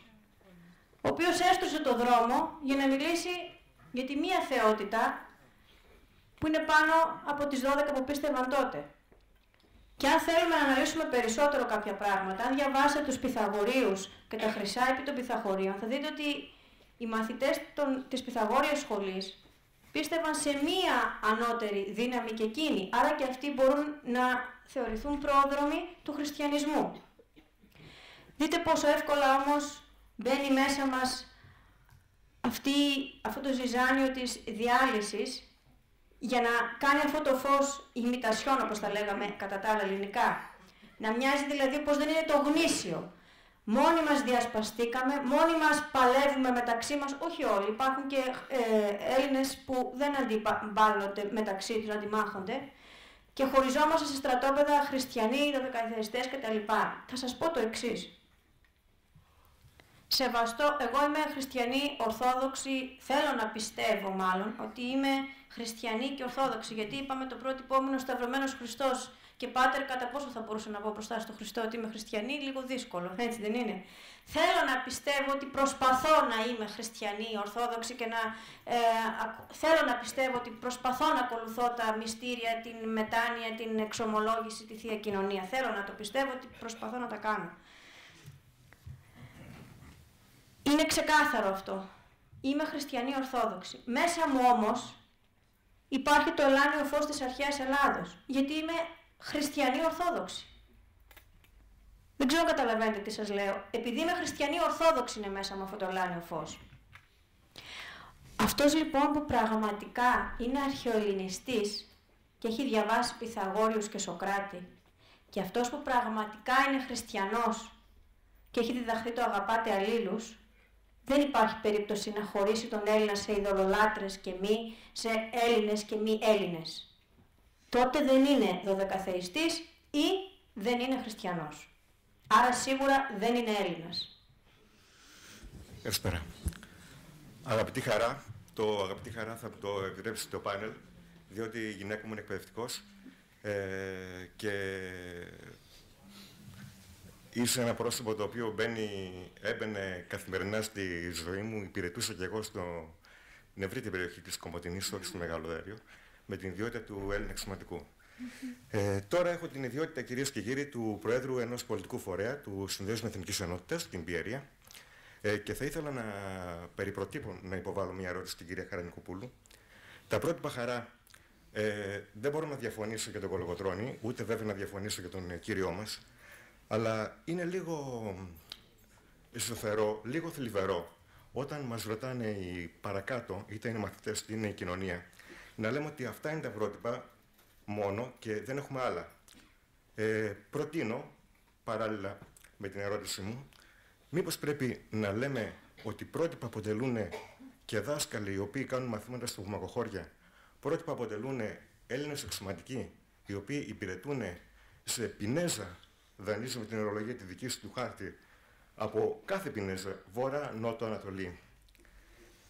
Και είναι και αυτή πρότυπα. Πρότυπα είναι ο Μανάβης που πηγαίνει 5 και 30 το πρωί στην αγορά για να βρει τα απαραίτητα αγαθά για την οικογένειά του. Πρότυπα είναι ο Γαλατάς που μοιράζει το γάλα, αγωνίζεται για τον άρτον ημών των επιούσεων. Είναι και αυτά πρότυπα χαρά. Και πρότυπο είναι και η κυρία Χαρανικοπούλου. Η ίδια έχει την ε, μετριοφροσύνη και δεν το ανέφερε. Υπάρχουν πρότυπα. Μήπως πρέπει να τα αναδείξουμε; Αυτή είναι η ερώτησή μου. Εγώ με το καλό, αν με ξέρει ο Θεός να κάνω παιδιά, στα δικά μου τα παιδιά, εννοώ τα βιολογικά, γιατί δικά μου παιδιά είναι και οι μαθητές μου, στα βιολογικά μου παιδιά, προτιμώ να τους προβάλλω ως πρότυπα τα ασφαλή, γιατί αύριο μεθαύριο η Χαρά Νικοπούλου μπορεί να τρελαθεί και να αρχίσει να μιλάει κατά της Ελλάδας. Οπότε εκεί που θα έχετε προβάλει τη Χαρά Νικοπούλου ως πρότυπο, ξαφνικά θα πει το παιδί: Έλα εδώ, βρε παπά, αυτή τρελάθηκε και μιλάει κατά της Ελλάδας. Προτιμώ ασφαλή πρότυπα για τα παιδιά τα δικά μου. Ένα το κρατούμενο. Δεύτερον, θερμά ευχαριστώ για την τοποθέτηση, εννοείται. Και με πολύ αγάπη θέλω να σας πω το εξής. Κατά εμέ αλίμονο αν περάσουμε ως πρότυπο στα παιδιά μας και ως ήρωες αυτούς που κάνουν το αυτονόητο. Αν φτάσαμε το ηρωικό να είναι το αυτονόητο, ε, τότε αυτό τα λέει όλα. Δείχνει που είμαστε. Αυτό είναι το πρόβλημα της Ελλάδος.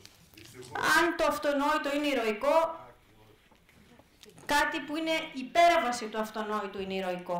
Χάσαμε ότι είμαστε Έλληνες. Αυτό είναι το μεγάλο Και πάλι ευχαριστώ για την τοποθέτηση. Νομίζω καταλαβαίνετε τι εννοώ.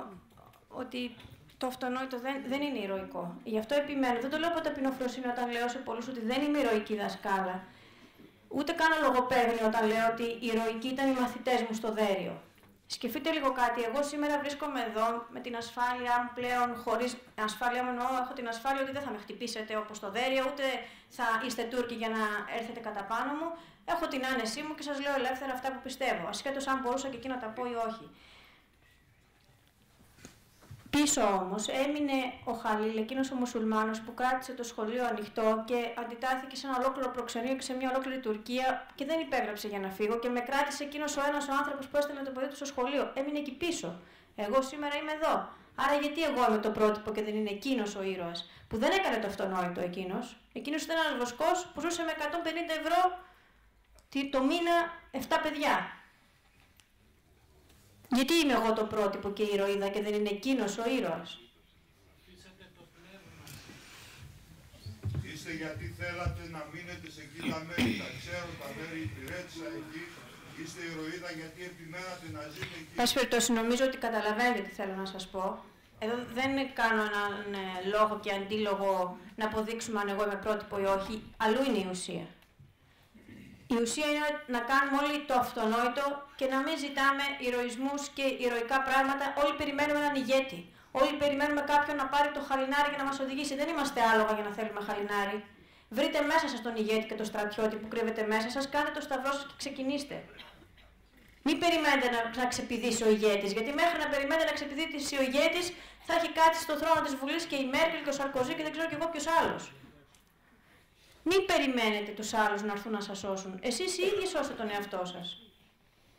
Νομίζω ότι σας πρότεινα από πού να ξεκινήσετε. Ίσως να, μην, ε, να το θεωρήσετε πολύ γραφικό αυτό με το ψωμί, το ψωμί και την ελιά. Αλλά θα σας πω ότι στο σχολείο μου αυτή τη στιγμή Κάθε Τετάρτη και κάθε Παρασκευή στο διάλειμμα, τα παιδιά στο πρώτο διάλειμμα τρώνε ψωμί και ελιές. Με μεγάλη χαρά και κάνουν και διαγωνισμό να δουν και τι ελιές έχουν φέρει. Άλλα φέρουν πράσινες ελιές, άλλα φέρουν ελιές που έχουν μέσα γέμιση, άλλα φέρουν ελιές χωρίς κουκούτσι και το κάνουν και σαν ε, επίδειξη ας πούμε συναγωνισμού που έχει την καλύτερη ελιά, όσο και σας φαίνεται οξύμορο. Ξεκινήστε με πράγματα απλά, μην περιμένετε επανάσταση να πουστεί το μπαμ στο μπαλκόνι σας, ξεκινήστε με το ψωμί και την ελιά, βγάλτε από το τραπέζι σας το κρέας και τις πατάτες και βάλτε ψωμί και ελιές. Και σας είπα, όχι να είναι άδειο το ψυγείο, γιατί δεν έχει νόημα. Περάστε το ως είδος πολυτελείας στα παιδιά σας. Οι Έλληνες με ψωμί και ελιά μεγάλωσαν. Δεν μεγάλωσαν ούτε με τα χοντόκ, ούτε με αυτά που τάισαν τη δική μας τη γενιά και να ρωτιόμαστε γιατί έχουμε καρκίνους.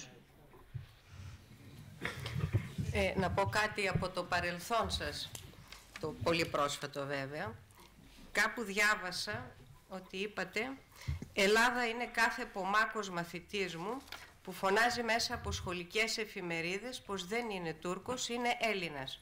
Και αυτό το διδάξατε και νομίζω ότι κάποιοι το κατάλαβαν. Κάποιοι όμως στην Αθήνα ενοχλήθηκαν και παρόλο που βραβευθήκατε από την Ακαδημία Αθηνών, κάποιοι σας κατηγόρησαν ότι κάνατε άλλου είδους εξωτερική πολιτική. Τα ξέρετε φυσικά καλύτερα από μένα.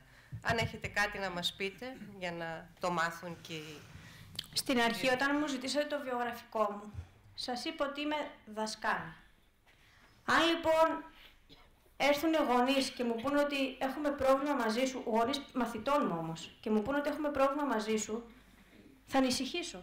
Και θα πω πείτε μου ποιο είναι το πρόβλημα, το συζητήσουμε. Από εκεί και πέρα, εγώ δεν είμαι ένα πολιτικό πρόσωπο. Δεν με ενδιαφέρει ποιος θα πει οτιδήποτε. Και στο κάτω-κάτω της γραφής δεν είναι με λουλούδια σπαρμένος ο δρόμος προς την ελευθερία. Και θα μας λιδωρήσουν και θα μας κοροϊδέψουν και θα μας πούν και ακροδεξιούς και θα μας πούν και γραφικούς που κάνουμε το σταυρό μας. Και, και εμείς πρέπει να προχωρήσουμε, πρέπει να βρούμε τις αξίες μέσα μας που χάσαμε, πρέπει να ξαναγίνουμε οι στρατιώτες του Ελλάνιου Τάγματος που ακούσατε πριν ότι γίναμε έκτοτοι και να συνεχίσουμε να οδεύουμε το δρόμο μας. Σαφώς και θα έχουμε. Αυτός είναι ο προσωπικός πόλεμος του καθενός. Αυτός είναι ο σταυρός που θα σηκώσουμε. Μην περιμένετε ότι θα σας πει ο γείτονας «Μπράβο, έβαλες τη σημαία στο μπαλκόνι». Ξέρετε, στις 28 Οκτωβρίου έδωσα ε, στα παιδιά καθήκοντα, πέρυσι, όχι φέτος, ε, και τους έλεγα μην ξεχάσετε να βάλετε τη σημαία πρώτα στο μπαλκόνι της καρδιάς σας και μετά στο μπαλκόνι του σπιτιού σας. Και με ρώτησαν τα παιδιά τι σημαίνει αυτό; Τι να το κάνω άμα έχεις στο μπαλκόνι σου τη σημαία, αλλά από το πρωί μέχρι το βράδυ βρίζεις το Χριστό, από το πρωί μέχρι το βράδυ βρίζεις την Ελλάδα όταν κάτι σου φταίει. Αν σε ρωτήσω να μου πεις πέντε ιστορικές μάχες δεν ξέρεις τίποτα, τι να την κάνω στο μπαλκόνι τη σημαία, αλλά δεν ξέρεις τι σημαίνει να είναι η σημαία στο μπαλκόνι. Μην, τα, μην ενεργούμε χωρίς να ξέρουμε τι κάνουμε. Πρέπει να ξέρετε τι κάνετε όταν ενώνετε τα τρία τα δάχτυλα και γιατί τα ενώνετε και, και γιατί τα φέρνετε στο μέτωπο και γιατί τα φέρνετε στην κοιλιά και γιατί δεξιά και γιατί αριστερά. Πόσοι από εσάς είπατε στα παιδιά σας να σηκώσουν μια φορά το χέρι στους γονείς, στα, στους δασκάλους και να πούνε «Κύριε, γιατί κάνουμε έτσι το σταυρό μας». Πόσοι από εσάς είπα στα παιδιά τους να σηκώσουν το χέρι και να πούν «Δεν μας είπατε 6 χρόνια στο δημοτικό η λέξη Έλληνας». Τι σημαίνει τιμολογικά, από πού βγαίνει; Μας κάνετε τιμολογία για οτιδήποτε άλλο. Τη λέξη Έλληνας τι σημαίνει, πόσοι ξέρουν ότι σημαίνει Ελλάς το φως πάνω στην πέτρα και πώς βγήκε αυτή η ρίση από τους δωρείς, πόσοι το γνωρίζουν; Το έλεγα προχθές σε παιδιά μεγάλα, το μεγάλο των τάξεων, και γύρισαν και μου είπαν Αχ κυρία, εμάς όμως οι δάσκαλοι μας στις δικές μας τις τάξεις δεν μας τα λένε αυτά, εσείς όμως τα λέτε στα παιδιά. Και ξέρετε τι τους είπα; Αν εγώ, ας υποθέσουμε ότι δεν ήμουν η δασκάλα στο σχολείο και ήμουνα η υπεύθυνη για το φαγητό στο λοήμερο. Και ερχόμουν εδώ να σας μαγειρέψω το φαγητό, αλλά την πρώτη μέρα δεν σας τάιζα. Τη δεύτερη μέρα ξανά δεν σας τάιζα. Και την τρίτη μέρα ξανά δεν σας τάιζα. Ε, κάποια στιγμή δεν θα λέγατε, κυρία, πεινάω. Γιατί λοιπόν δεν σηκώσατε αυτά τα έξι χρόνια το χέρι να πείτε, κυρία, τι θα πει να είμαι Έλληνας; Γιατί πεινάει η ψυχή σας και δεν σηκώνετε το χέρι να την ταΐσετε; Εμείς θα διεκδικήσουμε κάποια πράγματα. Σας είπα πολύ απλά πράγματα. Παραπονιόμαστε όλοι για την παιδεία. Παραπονιόμαστε για οποιουσδήποτε θεσμούς έχουμε. Πόσοι διεκδικούμε; Πόσοι γονείς έχουν βγει με πανό έξω από σχολεία να ζητήσουν να γίνονται τα θρησκευτικά αλλιώς; Πόσοι γονείς έχουν βγει έξω από το σχολείο με πανό για να ζητήσουν να αλλάχθουν τα βιβλία της ιστορίας; Πόσοι γονείς έχουν ζητήσει με πανό να βγουν οι χαρακτήρες από τις άλλες χώρες που υπάρχουν μέσα στα σχολεία του Δημοτικού. Το ξέρετε αυτή τη στιγμή στο βιβλίο, να σας πω ένα παράδειγμα. Στο βιβλίο της Πέμπτης Δημοτικού και στο βιβλίο της ε, Δευτέρας Δημοτικού του σχολείου, ένας από τους ήρωες που διδάσκονται τα παιδιά στο ας πούμε αναγνωστικό είναι ο Αρμπέλ, ένα παιδί από την Αλβανία. Όταν λοιπόν κάποιοι είστε γονείς και έχετε παιδιά, Πόσοι λοιπόν, όχι να κάνετε μια επιστολή και να τη στείλετε, γιατί η επιστολή θα γίνει αεροπλανάκι στην καλύτερη περίπτωση, αν ξέρει να κάνει αεροπλανάκι ο υπουργός, για να την πετάξει στο καλάθι και αν θέλει και λίγο να κουνήσει τα χέρια του. Αλλιώς θα την κάνει μια έτσι και θα τη ρίξει εκεί. Πόσοι διαδηλώσατε να πείτε ότι εμείς εδώ έχουμε ελληνικά ονόματα. Γιατί στο βιβλίο της Τρίτης Δημοτικού μέσα στα προβλήματα, μια ζωή ακούμε να λέει ο Χασάν είχε τόσες καραμέλες και κάνουμε μάθημα μαθηματικών εκείνη τη στιγμή και βάζω τα παιδιά μου και τους λέω βρείτε μου τέσσερα ονόματα ανδρικά χριστιανικά που να αρχίζουν από χ και σβήνουμε το χωσάν και γράφουμε ο, ο Χάρης, ο Χρήστος, ο Χριστόφορος, ο Χριστόδουλος. Πόσο το ζητήσατε αυτό από τους δασκάλους; Πολλοί μπορεί να πείτε, α, άμα πάω στο δάσκαλο να το ζητήσω αυτό, θα στιγματίσει το παιδί μου και μετά θα έχει πρόβλημα το παιδί μου. Είναι ένα ωραίο άλοθη για να μην διεκδικείτε. Γιατί αν το παιδί σας μάθει πως σε αυτή τη χώρα δεν υπάρχουν δεν δε γεννηθήκαμε με Χασάν και δεν ξέρω και εγώ ποιους άλλους, γεννηθήκαμε με ελληνικά ονόματα είτε από την αρχαία Ελλάδα είτε ε, αργότερα με τα χριστιανικά ονόματα, θα καταλάβουμε ότι πρέπει αλλιώς να διεκδικήσουμε κάποια πράγματα. Σας είπα από τα μικρά ξεκινήστε και μετά περάστε στα μεγάλα. Πόσοι δάσκαλοι ζήτησαν αυτά ακριβώς που είπες τώρα μόλις. Κανένας. Οι δάσκαλοι, σας το είπα και πριν. Ναι, ε, θα σας πω όμως το εξής. Θα σας πω, θα σας απαντήσω, όχι ως Χαράνικο δασκάλα, αλλά θα σας απαντήσω πώς θα σας απαντούσαν οι υπόλοιποι δάσκαλοι, για να κάνω λίγο το σύνολο του διαβόλου. Βέβαια, πιστεύω ότι οι δάσκαλοι δεν θα είχαν τόσο θάρρος να σας πούν αυτό που θα σας πω εγώ. Το πιστεύω. Αλλά θα σας το πω. Εδώ δεν νοιάζεσαι εσύ για το παιδί σου, θα νοιαστώ εγώ για το ξένο. Επειδή δεν ακούσατε θα σας το ξαναπώ. Εσύ δεν νοιάζεσαι για το δικό σου το παιδί, θα νοιαστώ εγώ για το ξένο. Εμένα με νοιάζει να μπει το, το τελευταίες δύο ώρες στο κενό για να φύγω νωρίτερα. Τόσο απλά. Εμένα με νοιάζει να έχω παιδιά ρομπότ που να μπαίνω στην τάξη με το που θα γράφω την ημερομηνία να την αντιγράφω. Ξέρετε, μια μαμά πέρυσι μου λέει, γιατί τα παιδιά δεν γράφουν αντιγραφή; Και της λέω, γιατί τα παιδιά, αν τα θέλετε ρομπότ, είναι το μόνο εύκολο. Γιατί την αντιγραφή μπορώ να τη διορθώσω σε χρόνο δεν τε. Για μένα το μόνο εύκολο να λέω πάρε από εδώ μέχρι εκεί αντιγραφή και φύγε. Πώς θα μάθουν την κριτική σκέψη; Πώς θα μάθουν να κρίνουν κάποια πράγματα; Αν πάρετε το βιβλίο του αναγνωστικού της Δευτέρας Δημοτικού της δεκαετίας του 70, δείχνει απ' έξω ένα κοριτσάκι με, με ποδιά το άσπρο γιακαδάκι και την μπλε και ένα αγοράκι με την αντίστοιχη ποδιά την κωτή και σκάβουν μια αμυγδαλιά και η αμυγδαλιά έχει ανθίσει σε ένα χωριό. Το δικό μας το αντίστοιχο σημερινό αναγνωστικό, που δεν λέγεται αναγνωστικό, λέει ταξίδια με λέξεις, δείχνει ένα χοντρό παιδί, χοντρό, δεν το λέω μεταφορικά, ένα χοντρό παιδί με ένα κεφάλι να, που είναι ξαπλωμένο μπρούμητα, με το μολύβι στο χέρι που το δαγκώνει Και είναι μπροστά σε ένα βιβλίο ανοιγμένο, φανταστείτε το λίγο, ένα χοντρό παιδί μπρούμητα ξαπλωμένο μπροστά σε ένα βιβλίο ανοιγμένο που έχει άσπρες σελίδες. Και πίσω δείχνει ε, μια βιομηχανική ζώνη από μια πόλη, ό,τι φαίνεται. Και έβαλα τους μαθητές μου, τους έβγαλα φωτοτυπία τα δύο τα εξώφυλλα, τους τα έδειξα και πείτε μου τι μήνυμα παίρνετε, τους είπα. Ξέρετε τι μου γράψανε. Μου είπαν ότι σήμερα μας θέλουν κυρία να είμαστε, συγγνώμη με τη λέξη, θα σας πω πώς μου το είπαν τα παιδιά, βλαμμένα, γι' αυτό έχει τέτοια φάτσα αυτό το παιδί. Μας θέλουν να μην μαθαίνουμε, γι' αυτό το δι... μας δείχνει να ξαπλώνουμε, γιατί κυρία άμα ήταν να, να μαθαίνουμε ξαπλώνοντας θα μας είχατε κρεβάτια εδώ μέσα, εμάς μας έχετε καρέκλες εδώ μέσα όταν διαβάζουμε.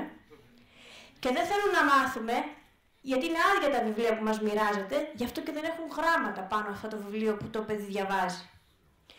Και αυτά τα παιδιά είναι σαν και εμάς που μένουμε σε πόλεις, κυρία. Ενώ το άλλο μου, μου είπαν τα παιδιά τον αγνωστικό, χωρίς καν να χρειαστεί να, να, να διαβάσουμε τη λέξη αναγνωστικό, καταλαβαίνουμε ότι είναι από την Ελλάδα, κυρία, γιατί το κοριτσάκι φοράει μπλε με άσπρο.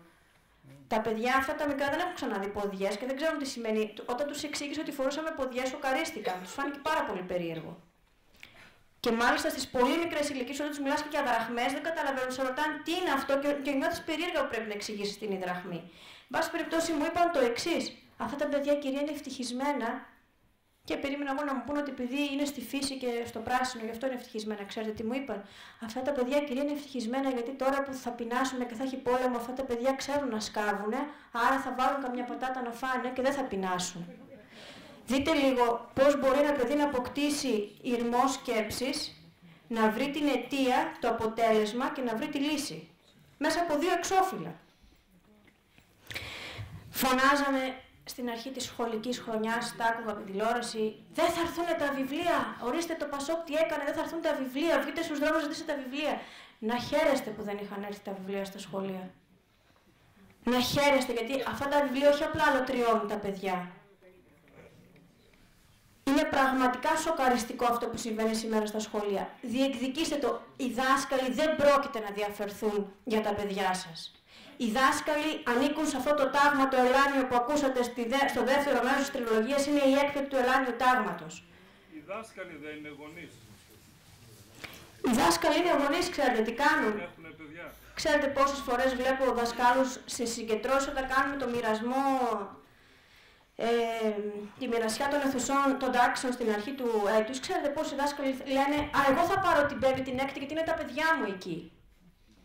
Λειτουργούν έτσι. Και όσοι δεν μπορούν να το επιτύχουν αυτό, κάνουν αυτό που δεν κάνει ο δάσκαλος στο σχολείο, στο σπίτι. Είναι τυχερά αυτά τα παιδιά γιατί έχουν το δάσκαλο στο σπίτι.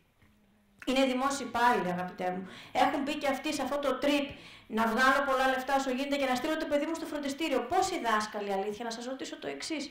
Ξέρετε πόσους δασκάλους υπάρχουν που στέλνουν, πόσοι δάσκαλοι υπάρχουν που στέλνουν τα παιδιά τους σε φροντιστήρια; Δεν είναι λίγο οξύμορο αφού εσύ είσαι υπάλληλος ενός Υπουργείου Παιδείας που είναι πάρα πολύ άξιο.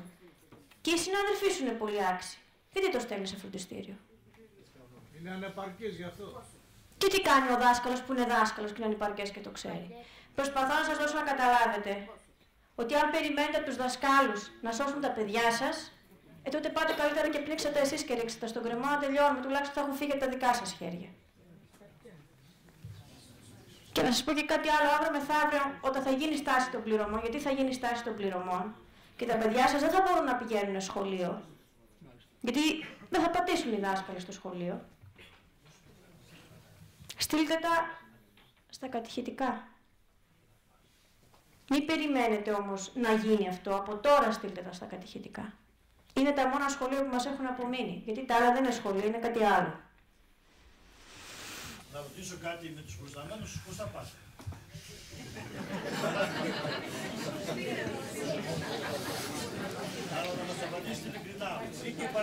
Μα δεν έχω σκοπό να σας πω ψέματα. Αν σας πω ότι τα πάω πολύ καλά, θα πείτε ότι κάτι δεν πάει καλά με μένα. Αν σας πω ότι δεν τα πάω καλά, θα πείτε ότι όλα είναι καλά. Έτσι δεν είναι.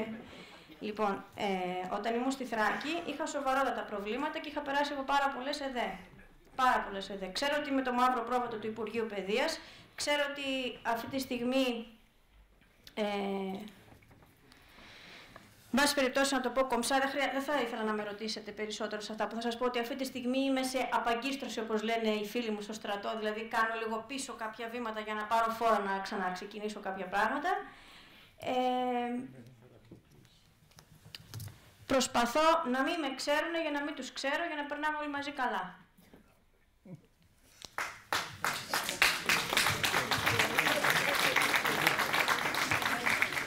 Ξέρετε, πολλές φορές μου λένε κάποιοι ότι εσύ είσαι θρύλος για μας και είσαι η διάσημη χαρά Νικοπούλου και εντάξει τώρα μπορείς να ζητήσεις ό,τι θέλεις κτλ. κτλ. Θα σας πω το εξής, ότι καλώς εχόντων πραγμάτων και γεροί να είμαστε από ποια άποψη, όχι τη σωματική, αλλά την εθνική. Δηλαδή να, να υπάρχουν ακόμη σχολεία μέχρι και το Σεπτέμβριο και μετά, να λειτουργούν σχολεία και το εννοώ αυτό που λέω, δεν το λέω για να ακουστεί κάπως. Ε, Έχω ζητήσει μετάθεση ξανά στη Θράκη για να επιστρέψω στη Θράκη. Εγώ το πηγαίνω αξιοκρατικά. Δηλαδή, έχω 95 μόρια, χρειάζονται αυτή τη στιγμή γύρω στα 17 με 19 μόρια για να πάω στη Θράκη, όχι απλά τα έχω τα μόρια, βγάζει μάτι διαφορά. Σε περίπτωση όμως που δεν εφαρμοστεί η αξιοκρατία, θα το πω πάρα πάρα πολύ απλά, ότι δεν θα χρειαστεί να βάλω μέσα, θα αξιοποιήσω το όνομα που έχω αποκτήσει για να ξαναγυρίσω στη Θράκη. Νομίζω ότι είναι κατανοητό και σεβαστό από όλους σας. Δηλαδή, δεν σας ζητάω να με αφήσουν να είμαι στην ασφάλειά μου. Θέλω να επιστρέψω εκεί που ήμουν. Οπότε, θέλω να πιστεύω ότι θα επιστρέψω. Θα δούμε. Ε, από εκεί και πέρα, το τι κάνουν οι προϊστάμενοι και το πώς μου συμπεριφέρονται κτλ. Σας είπα και πριν για να κολλήσει και στην ερώτηση της κυρίας ότι ο καθένας πρέπει να σηκώνει ένα σταυρό. Έτσι, ο αγώνας χωρίς σταυρό δεν γίνεται και χωρίς κάποιες απώλειες.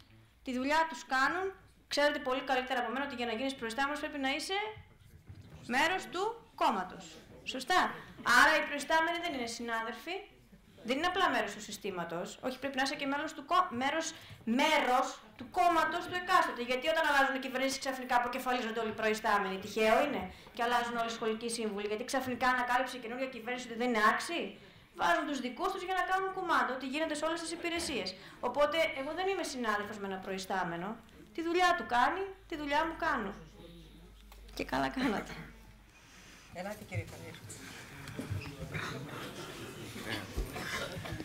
ε, κυρία Χαράνη Κοπούλου, ποιητικά εκφράσατε πραγματικά τη ψυχή σας και πιστεύω ότι αποτυπώνετε με το λόγο σας και την ίδια σας τη ψυχή. Αυτό το οποίο θέλω να θέσω ως δικηγόρος, για να είμαστε λίγο ρεαλιστές, είναι ότι πραγματικά απαξιώνεται το μυαλό σήμερα του Έλληνα, ο οποίος είναι φως, και θεωρείται πλέον μια άχρηστη πολυτέλεια. Και όταν διδάσκεται από την ίδια πολιτεία ο υπερδανισμός, να ξέρετε ότι αυτή η συνείδηση θα διαμορφώνεται και στον Έλληνα, ο οποίος σιγά σιγά εαλοτριώνεται και πλέον ετεροκαθορίζεται. Δυστυχώς έχει πάυσει η αυτοδιάθεση και ο αυτοκαθορισμός της ίδιας της ελληνικής κοινωνίας και είμαστε αναγκασμένοι να ζήσουμε χωρίς συνείδηση. Υπάρχει ένα Υπουργείο Παιδείας στην Ελλάδα χρόνια, αλλά δυστυχώς η εκπαίδευση ποτέ δεν υπηρέτησε την παιδεία. Αντιθέτως, η ίδια η παιδεία υπηρετεί την εκπαίδευση. Εγώ θέλω να θέσω το ερώτημα σε εσάς ως εκπαιδευτικό, διότι θεωρώ ότι η εκπαίδευση είναι πηγή της ζωής. Ε, η Μαρμένη Ζή θεωρώ ότι είναι ένας τίτλος ο οποίος ταιριάζει απόλυτα στην Ελλάδα σήμερα διότι δυστυχώς δεν έχουμε προσωπική ευθύνη. Σας ρωτώ λοιπόν αν ως εκπαιδευτικοί είστε αναγκασμένοι να κινητοποιηθείτε για να αποδείξετε ότι λειτουργείτε χωρίς παιδεία στο εκπαιδευτικό σύστημα, λειτουργείτε χωρίς πνευματική αγωγή, χωρίς πολιτική αγωγή, ε, αν είστε σε μια διατεταγμένη, οργανωμένη προσπάθεια να διώξετε το κομματισμό και το συνδικαλισμό από την εκπαίδευση γιατί νομίζω ότι ο καθένας θα πρέπει να ξεκινήσει μια ειρηνική επανάσταση μέσα από τον ίδιο του το χώρο. Ευχαριστώ. Πρώτα απ' όλα να ξεκαθαρίσω ότι εγώ δεν σας διάβασα ένα παραμύθι, αλλά σας διάβασα την πραγματικότητα, άρα ήμουν ρεαλίστρια. Ένα το κρατουμένο. Δεύτερον, όλοι έχουμε ευθύνη και κάνουμε επιλογές. Είπατε είστε δικηγόρος. Θα δεχόσασταν να φέρετε ένα ψευδομάρτυρα στο δικαστήριο; Θα δεχόσασταν. Υπάρχει κάποιος λόγος που σας το ρωτάω, δεν είναι ρητορικός. Φαντάζομαι ότι δεν θα δεχόσασταν. Για να είστε εδώ, έχετε κάποιες αρχές γι' αυτό και θέλετε να ακούσετε κάποια πράγματα. Άρα κάνετε μια επιλογή. Το δρόμο της αρετής και όχι της κακίας. Παντού υπάρχουν οι επιλογές. Τώρα, για το αν να σημειώσω και κάτι ακόμη. Επειδή είμαι δασκάλα, προσέχω πάντα και την τελευταία λέξη που πρέπει να υποθεί. Αν ήμουν γιατρός δεν θα το πρόσεχα τόσο, αλλά ο δάσκαλος οφείλει και τιμολογικά να προσέχει κάποια πράγματα. Είμαστε δάσκαλοι, δεν είμαστε εκπαιδευτικοί. Εκπαιδευτές υπάρχουν στους σκύλους, στα ζώα, στα άλογα. Εμείς είμαστε δάσκαλοι, με κεφαλαίο το Δέλτα, από τον υπηαγωγό, τον, στο βρεφικό, το, ε, βρεφονιπιακό σταθμό μέχρι και το πανεπιστήμιο, όλοι είμαστε διδάσκαλοι, αν θέλετε να το πούμε και καλύτερα. Τώρα, με ρωτήσατε αν σκοπεύουμε οι δάσκαλοι να κινητοποιηθούμε για να, να φύγει ο κομματισμός και όλο αυτό που υπάρχει μέσα στην, ε, στην παιδεία. Να διδαχθούμε λίγο την ελληνική μυθολογία, να πάμε στον Ηρακλή.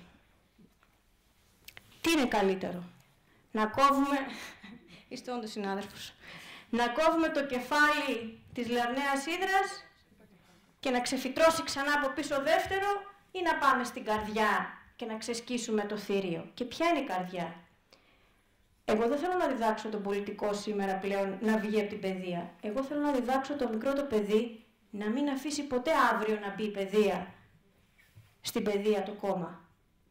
Άρα η καρδιά του θηρίου είναι στα ίδια τα παιδιά πρέπει να διδάξω κάποια πράγματα. Κάποιες αρχές, γιατί αυτά τα παιδιά αύριο θα είναι οι πολιτικοί, αυτοί που θα βάλουν τον δίθεν συνδικαλισμό μέσα στην παιδεία.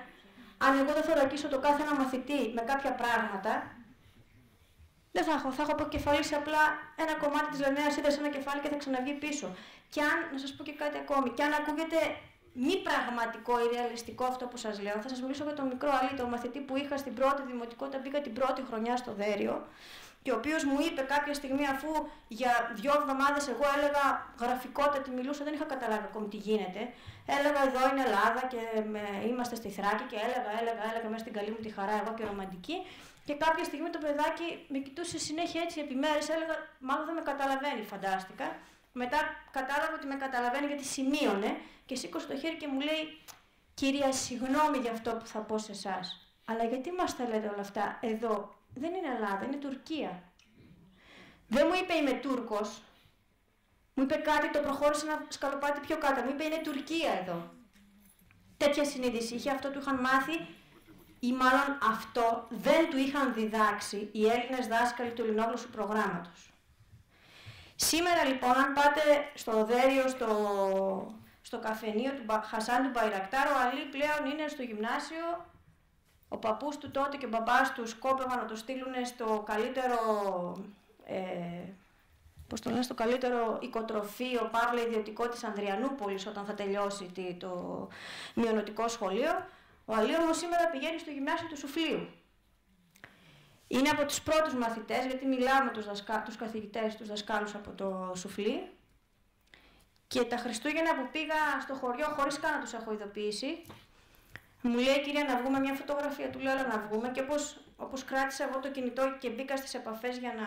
ήθελα να πω στις επαφές για να βγάλω την κάμερα, ξέρετε τι είχε φόντο. Είχε φόντο την ελληνική σημαία. Αυτό το παιδί που πριν από μερικά χρόνια μου είπε ότι εδώ είναι Τουρκία. Τα λέω όλα αυτά γιατί έτσι πολεμάς το θηρίο που λέγεται τουρκικό προξενείο, όχι κόβοντας μικρά κεφάλια που βγαίνουν από πίσω, έτσι πολεμάς το συνδικαλισμό, έτσι πολεμάς όλα αυτά. Οι μαθητές σου είναι το ζητούμενο. Εκεί να ποτίσεις, εκεί να σπείρεις, εκεί να καλλιεργήσεις, εκεί να ξεριζώσεις ζυζάνια. Είναι πιο δύσκολο να ξεριζώσεις το. Το να σπείρεις είναι πανεύκολο. Το να ξεριζώσεις τα ζυζάνια που ήδη έχουν βγει είναι το δύσκολο. Και πιστεύω ότι οι επιλογές είναι παντού. Είμαι από μια οικογένεια νομικών. Ένα πράγμα έβλεπα πάντα, ότι ο πατέρας μου πάντα μα πάντα έκανε, γιατί συζητούσαμε στο σπίτι κάποια πράγματα, έκανε τις επιλογές τόσο δυσάρεστες και αν ήταν. Προστιμούσε τον, την οδό της Θέμηδος που έχει τα κλειστά μάτια. Ο αδερφός μου που είναι δικηγόρος το ίδιο. Όλοι κάνουμε το ίδιο. Ο γιατρός που δεν θα πάρει το φακελάκι κάνει την επιλογή του. Όχι απλά δεν θα πάρει το φακελάκι, ο γιατρός που θα πει και όταν δεν θα με πληρώνουν εγώ θα είμαι εκεί για να σε εξετάσω κάνει το ίδιο ο άνθρωπος που μαζεύει τα απορρίμματα από το δρόμο και θα πει να μαζέψω και την τελευταία αγώπα που είναι κάτω γιατί αυτή είναι η γη μου, αυτή είναι η χώρα μου και θέλω να είναι καθαρή, κάνει την επανάστασή του. Είτε πληρώνεται είτε δεν πληρώνεται. Έτσι γίνεται η επανάσταση. Γιατί αν εγώ βγω τώρα που σας μιλάω, έχω ρίξει τη ζάχαρη εδώ και κάνω αυτό και κάνω αυτό κάτω, πού είναι η επανάστασή μου; Από πολύ μικρές λεπτομέρειες κρίνονται οι άνθρωποι. Από πολύ μικρές λεπτομέρειες κρύβονται οι Έλληνες.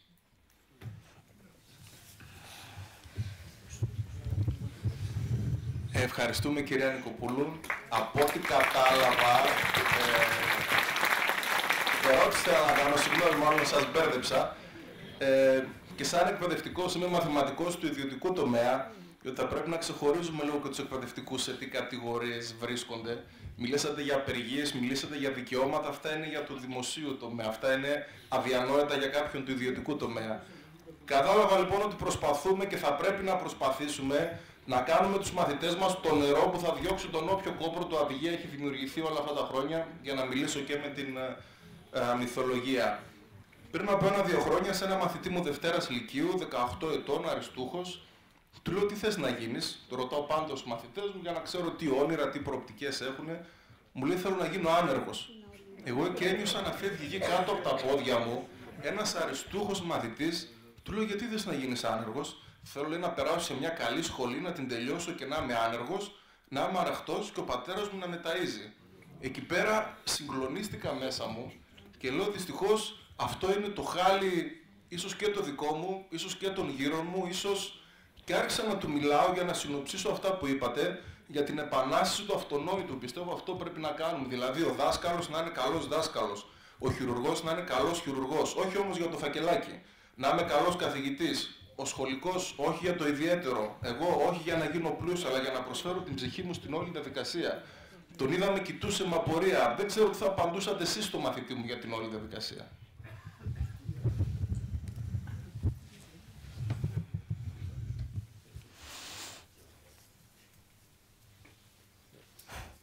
Ξέρετε, το κάθε επάγγελμα κρίνεται από την προσφορά του και την παραγωγικότητά του. Και όποιος δεν είναι παραγωγικός, η κοινωνία τον αποβάλλει. Θα τον έβαζα λοιπόν να παίξουμε ένα παιχνίδι μέσα στην τάξη και θα του έλεγα πως αν αυτό το παιχνίδι δεν ακολουθείς τους όρους και δεν είσαι σύμφωνος με το παιχνίδι, αποβάλλεσαι. Όταν λοιπόν θα αποβαλόταν με τη σκέψη που έχει, θα του έδειχνα πως με τον ίδιο τρόπο και η κοινωνία θα σε αποβάλει.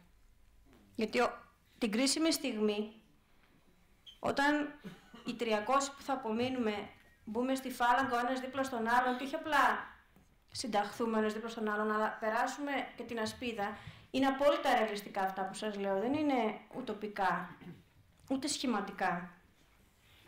Εκεί, όποιος δεν είναι παραγωγικός, θα τον ξεράσει η ίδια η φάλαγγα και όχι απλά θα τον αποβάλει η ίδια η φάλαγγα, δεν θα τον βάλει στην άκρη για να μην πολεμήσει. Όχι.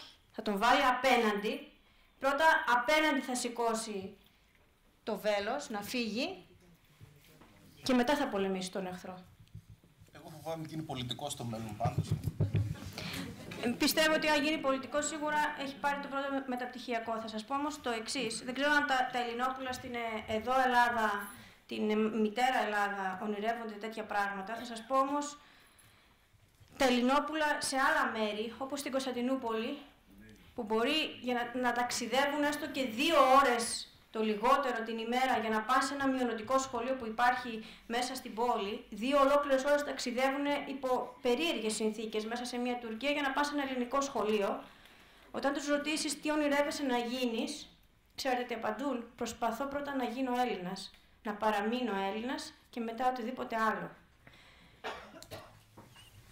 Ξέρω ότι είναι δύσκολα τα πράγματα και εδώ στη Μητροπολιτική Ελλάδα, αλλά να, να σκέφτεστε ότι υπάρχουν πάρα πολλές δυσκολίες και στη Βόρειο Ήπειρο που υπάρχουν Έλληνες και στη Κωνσταντινούπολη που έχουν απομείνει 1748 Έλληνες και στη Σμύρνη, στην Ήβρο και στην Τένεδο που μετρούνται στα δάχτυλα του ενός μόνο χεριού οι Έλληνες. Και θα σας πω ότι εμείς εδώ είμαστε υποτίθεται το παράδειγμα για τους Έλληνες της Ελλάδος, της έξω Ελλάδος. Αν λοιπόν εμείς δεν κάνουμε το καθήκον μας, ξεκινώντας από αυτό που είπαμε πριν από τα πιο μικρά, αυτοί οι Έλληνες ραγίζει κάτι μέσα τους. Δεν σημαίνει ότι θα πάψουν να είναι Έλληνες, αλλά είναι σαν και αυτό που έλεγε κάποτε μέσα στον Όμηρο Οδυσσέας, πως αν, αν μέσα στο καράβι δεις οποιονδήποτε να πνίγεται, δεν τρέχει κάτι. Αν όμως δεις τον καπετάνιο να πνίγεται, θα πανικοβληθείς. Έτσι και αυτοί οι Έλληνες, όταν βλέπουν τους Έλληνες της Μητροπολιτικής Ελλάδας να πνίγονται, πανικοβάλλονται. Πρέπει να είμαστε προσεκτικοί ακόμη και στην ορολογία που δίνουμε στα μέρη που είναι γύρω μας. Ξέρετε, βλέπω πολλούς δασκάλους μπαίνουν στην έκτη δημοτικού να διδάξουν γεωγραφία και λένε τα σύνορα της Ελλάδος είναι, δείχνουν τη Μικρά Ασία, λένε η Τουρκία, δείχνουν την Αλβανία και λένε η Αλβανία, Βουλγαρία και από κάτω είναι η Μεσόγειος. Αν όμως ταξιδέψετε στη Μικρά Ασία και πάτε σε 11 ελληνικότατες πόλεις οι οποίες φωνάζουν ότι είναι ελληνικές, γιατί αν πάτε στα αρχαία δεν γράφει πάνω «Χος Γκελντινής» ή οτιδήποτε άλλο, αλλά γράφουν «Καλώς ήρθατε εις ταύτην την πόλη» σε αρχαία ελληνικά, δηλαδή στα ελληνικά και μόνο εσείς μπορείτε να τα διαβάσετε, ο Άγγλος, ο Γάλλος και ο Πορτογάλος δεν μπορεί να τα διαβάσει. Αν λοιπόν σε 11 πόλεις της Μικράς Ασίας ταξιδέψετε, θα κυρίως οι δάσκαλοι, θα ντραπείτε να πείτε ότι αυτά είναι τα σύνορα της Ελλάδος και αυτή είναι η Τουρκία. Γιατί αυτή είναι η σκλαβωμένη Ελλάδα. Δεν είναι η Τουρκία. Και αν πάτε στα ελληνικά χωριά της Βορείου Υπήρου, που τα έχουμε όλοι ξεχασμένα και αν τολμήσουμε να μιλήσουμε για Βόρειο Ήπειρο πάνω, εκτός από το Αργυρόκος, από τους Άγιους Σαράντα, είναι πολλά, είναι πολλά χωριά που είναι άγνωστα σε εμάς και έχουν χριστιανούς. Θα δείτε πως υπάρχουν και εκεί Έλληνες, οι οποίοι μαζεύονται, αν δείτε τα σχολεία στα οποία μαζεύονται, θα γελάσετε σε στάβλους, όχι μεταφορικά, κυριολεκτικά σε στάβλους μαζεύονται για να κάνουν μαθήματα. Μετά δεν θα τολμήσουμε εμείς οι δάσκαλοι να ξαναπούμε ότι αυτή είναι η Αλβανία. Ξέρετε, με ρώτησαν πέρυσι οι μαθητές μου εδώ στην, ε, στη Θεσσαλονίκη όταν ήμουν, με ρώτησαν αφού κάναμε ιστορία, σήμερα ευτυχώς μου είπαν, κυρία δεν υπάρχουν σκλαβωμένοι Έλληνες, είμαστε ελεύθεροι. Και τους είπα, τους άνοιξα το χάρτη και τους είπα το εξής. Δυστυχώς θα σας πάρω αυτή τη χαρά, γιατί δεν έχουμε δικαίωμα να παραχαράξουμε την ιστορία. Γιατί υπάρχουν σκλαβωμένοι, πραγματικά σκλαβωμένοι Έλληνες. Και μου είπαν ποιοι. Τους έδειξα πρώτα απ' όλα την Κωνσταντινούπολη. Υπάρχουν οι Έλληνες της Κωνσταντινούπολης που είναι σκλαβωμένοι αυτή τη στιγμή στους Τούρκους. Υπάρχουν οι Έλληνες της Σύμβρου, της Τενέδου που είναι σκλαβωμένοι στους Τούρκους. Υπάρχουν οι Έλληνες της Βορείου Υπήρου που είναι σκλαβωμένοι στους Αλβανούς. Και δεν τολμούμε να το πούμε γιατί έχουμε Αλβανούς μέσα στην τάξη. Και σήκωσε το χέρι ένας μαθητής και μου είπε, ήταν Αλβανός, ο Φρέντερ, και μου λέει, Δηλαδή, τι κυρία μας λέτε, ότι εμείς οι Αλβανοί είμαστε κακοί; Και του απάντησα, Δεν σου λέω αυτό. Σου λέω απλά τι μου έχει διδάξει η ιστορία μου. Ένα γεγονός. Τώρα, αν εσύ νιώθεις έτσι, διδάσκοντας την ελληνική, μαθαίνοντας την ελληνική ιστορία, είναι κάτι άλλο. Ίσως περνάς στο στάδιο της αυτοκάθαρσης. Και δεν μου είπε τίποτα. Υπάρχουν πάρα πολλά μέρη στα οποία σήμερα ζουν Έλληνες σκλαβωμένοι. Οι Έλληνες της Γερμανίας σήμερα. Που ντρέπονται οι καημένοι να βγουν έξω και να πούνε ότι είναι Έλληνες. Με το, με το κλίμα που υπάρχει σήμερα εκεί. Οι Έλληνες της Κύπρου. Γιατί είναι Έλληνες. Πρέπει να είμαστε προσεκτικοί. Πρέπει να φέρουμε παραδείγματα στα παιδιά μας και πρέπει, θα σας το λέω συνέχεια και σε όποιες ομιλίες και αν πηγαίνω, πρέπει να ξεκινήσουμε από τα αυτονόητα, τα αρνητικά αυτονόητα που μας έχουν περάσει στην ελληνική κοινωνία, να τα περάσουμε στη σωστή ισορροπία και να ξεκινήσουμε μετά να κάνουμε τα θετικά αυτονόητα. Ναι, ο κύριος Γιατί πρέπει να κλείσουμε, γιατί έχετε και να ταξιδέψετε κιόλας. Μία υπόσχεση και μία ερώτηση. Υπόσχεση του χρόνου να ξαναρθείτε να μας μιλήσετε. Δέσμευση, αν, αν μπορείτε. Νομίζω είναι απέτηση όλων, έτσι δεν είναι; Το θεωρούμε ότι δεσμευτήκατε. Ε, και... δεν απάντησα, μισό λεπτό. δεν, δεν ήταν άρνηση.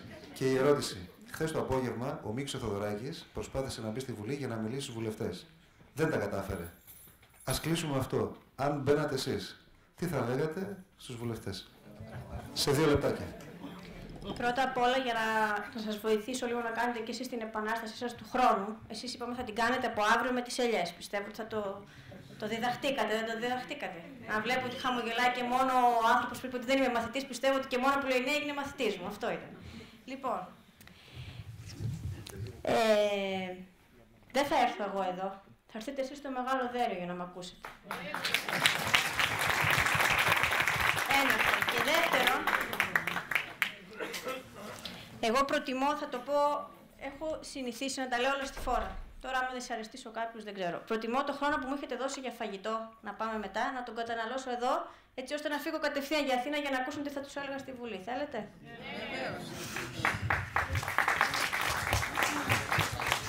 Όποιος αντέχει μπορεί να μείνει, όποιος δεν αντέχει μπορεί να αποχωρήσει. Γιατί έχει και κρύο, όντως τελικά έχει κρύο. Λοιπόν,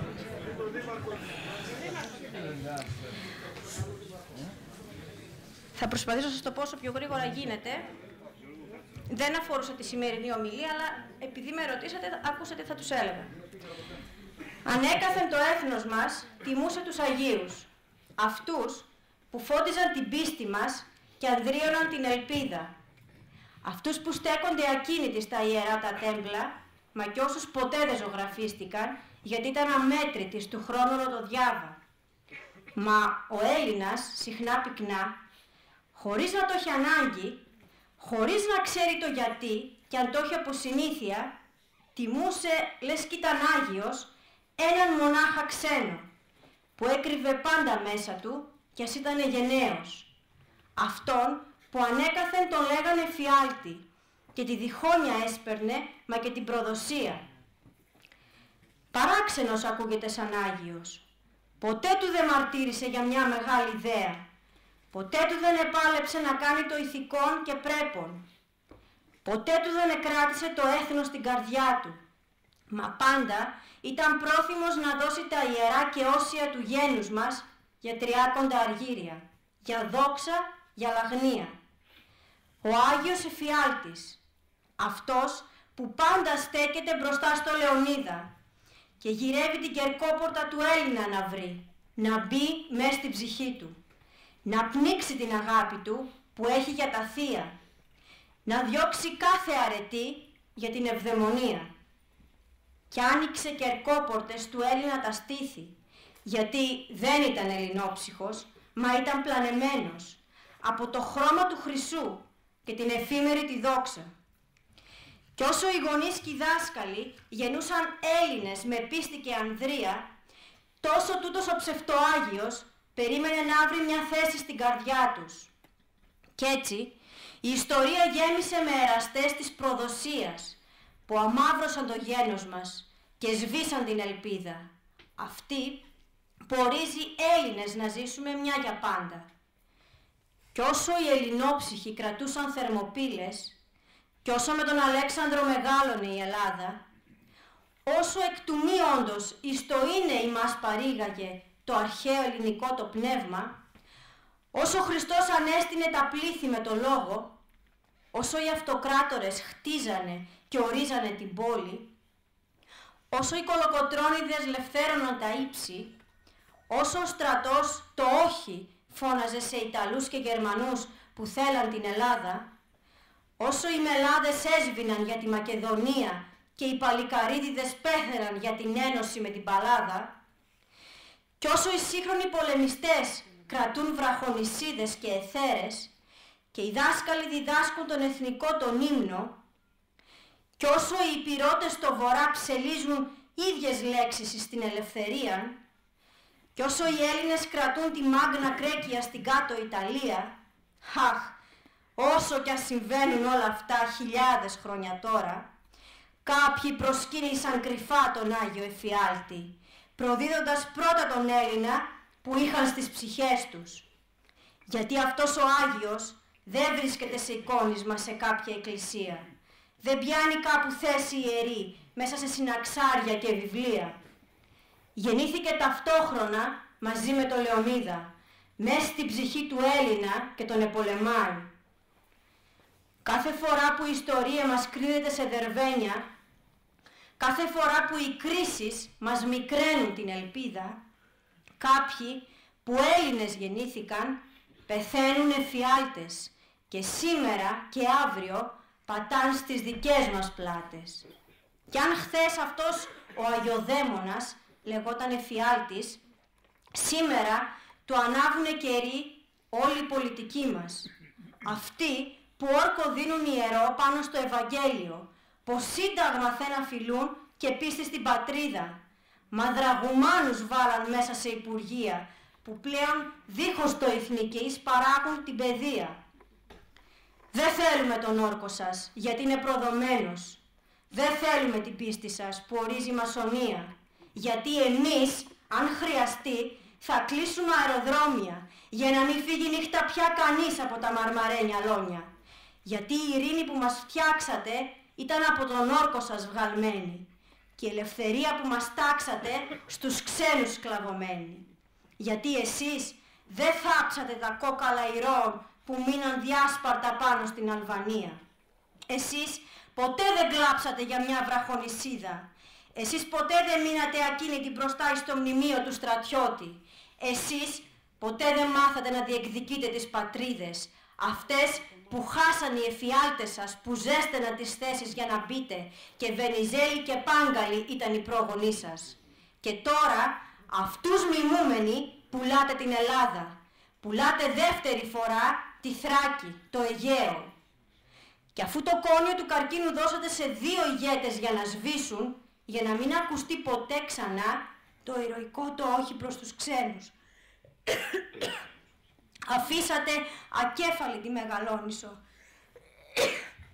για να γεννεί η πύλη για τους Τούρκους, ώστε μια μέρα σύντομα να πάρουν το Αιγαίο. Και ο λαός μας πια να μην ξυπνά μέσα στην εκκλησία, καθώς ο Εθνάρχης πλέον δεν ζητά να διώξουμε τους ξένους, να ζήσουμε ελεύθεροι, χωρίς πνευματική δουλεία. Και όσο σταυρός που κάνετε σταυρώνει την Ελλάδα, όσο τα οράματα που χτίζετε για μας υμνούν τους εφιάλτες, όσο ζεμπέκικο χορεύετε τη νύχτα των ημείων, όσο τζαμί θα χτίζετε βγάζοντας το Χριστό από τα σχολεία, όσο θα αφήνετε το Σκοπιανό να λέει πως είναι Μακεδόνας και το Θρακιώτη Έλληνα να σκιάζεται από το προξενείο των Τούρκων, όσο στεφάνια Ανδρείας και τιμής θα καταθέτετε στου κεμαλοσφαγέα τον τάφο, ενώ η γενοκτονία των ποντίων δεν είναι μέρα μνήμης εθνικής τιμής για αυτούς που πήρε ο φίλος ο δικός σας, όσο θα αγκαλιάζετε σφιχτά τον κάθε μετανάστη για να μεταναστεύει ο Έλληνας μακριά από την πατρίδα που πεθαίνει, τόσο κι άλλο τόσο Λεωνίδας ζει μέσα από τους τρακόσιους, αυτούς που θα απομείνουμε μέσα στην Ελλάδα και μία νύχτα θα να βγουν στον βολευτόν το άνδρο. Και εκεί, απέναντί τους, αφού θα συνταχθούν, θα γίνουν ένα με το 21.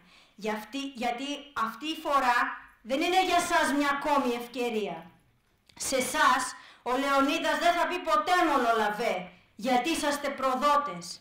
Με αυτό το δόρυ του με μια θα σηκωθεί, ως θεία δίκη προς τους ντροπιασμένους. Και ο Σπαρτιάτης Έλληνας θα ορίσει την ποινή μέσα από τον κολοκοτρώνη. Φωτιά και τσεκούρι πάντα στους προσκυνημένους και θα γεμίσει το γουδί μονάχα από εφιάλτες γιατί η ψυχή του κάθε ήρωα δεν έγινε καιρή για αυτό το ψευτοάγιο μα έγινε το φως της Αναστάσεως που γέννησε η Ελλάδα. Αυτό θα τους έλεγα.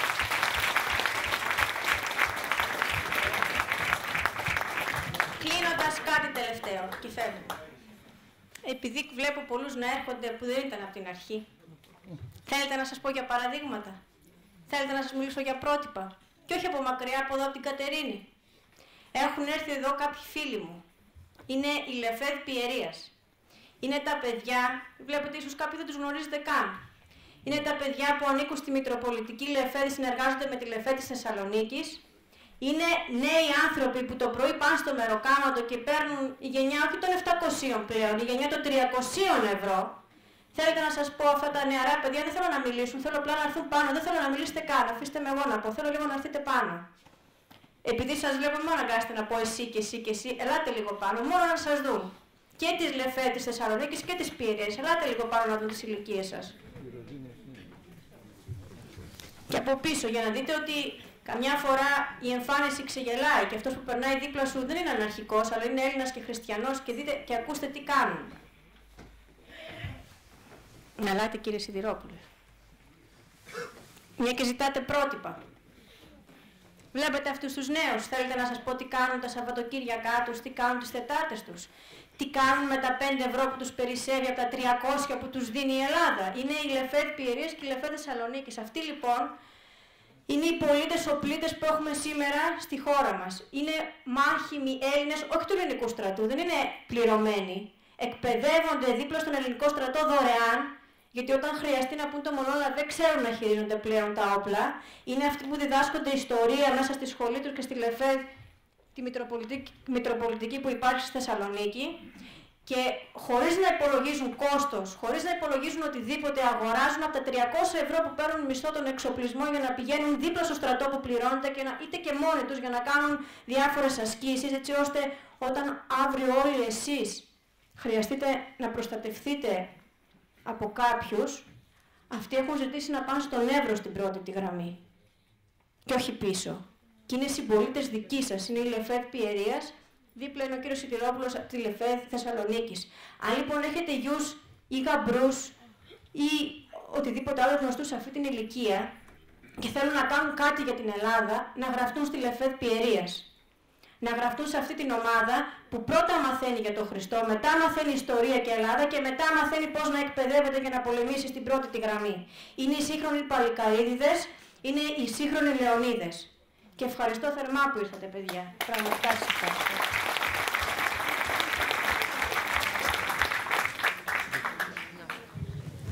Και με αυτό, ορίστε, ορίστε. Ναι. Εχθές ήταν τα τρίχρονα του Τάσου Παπαδόπουλου, Ναι. ενός Έλληνα που είχε το κόνιο του καρκίνου και που μέχρι και με τα λείψανά του τα βάλανε. Κι όμως λόγω της ημέρας το ξεχάσαμε. Φυσικά δεν αναφέρθηκε και πουθενά από τα μέσα μαζικής. Και αν δεν ήταν και η μέρα χθες, δεν, δεν υπήρχε περίπτωση Νομίζω που γενικότερα. αξίζει ένα αιώνια του Ιουνίνου. Έχουμε Θεό τον αναπαύσουμε. Ευχαριστώ. Χαρά. Χαρά. Δεν φοβάσαι. Μπροστά στον Ιησού Χριστό φοβάμαι γιατί κάνω αμαρτίες. Από εκεί και πέρα συνεργόντος του Θεού όχι. Και πάλι ευχαριστούμε πάρα πολύ. Σας περιμένουμε την άλλη Δευτέρα με τον κύριο Τσολάκη. Ευχαριστούμε ιδιαίτερο την κυρία Νικοπούλου. Καλή επιστροφή και ευχόμαστε πάντα να είναι γεροί και να μάχετε. Να πάρω το παλτό γιατί...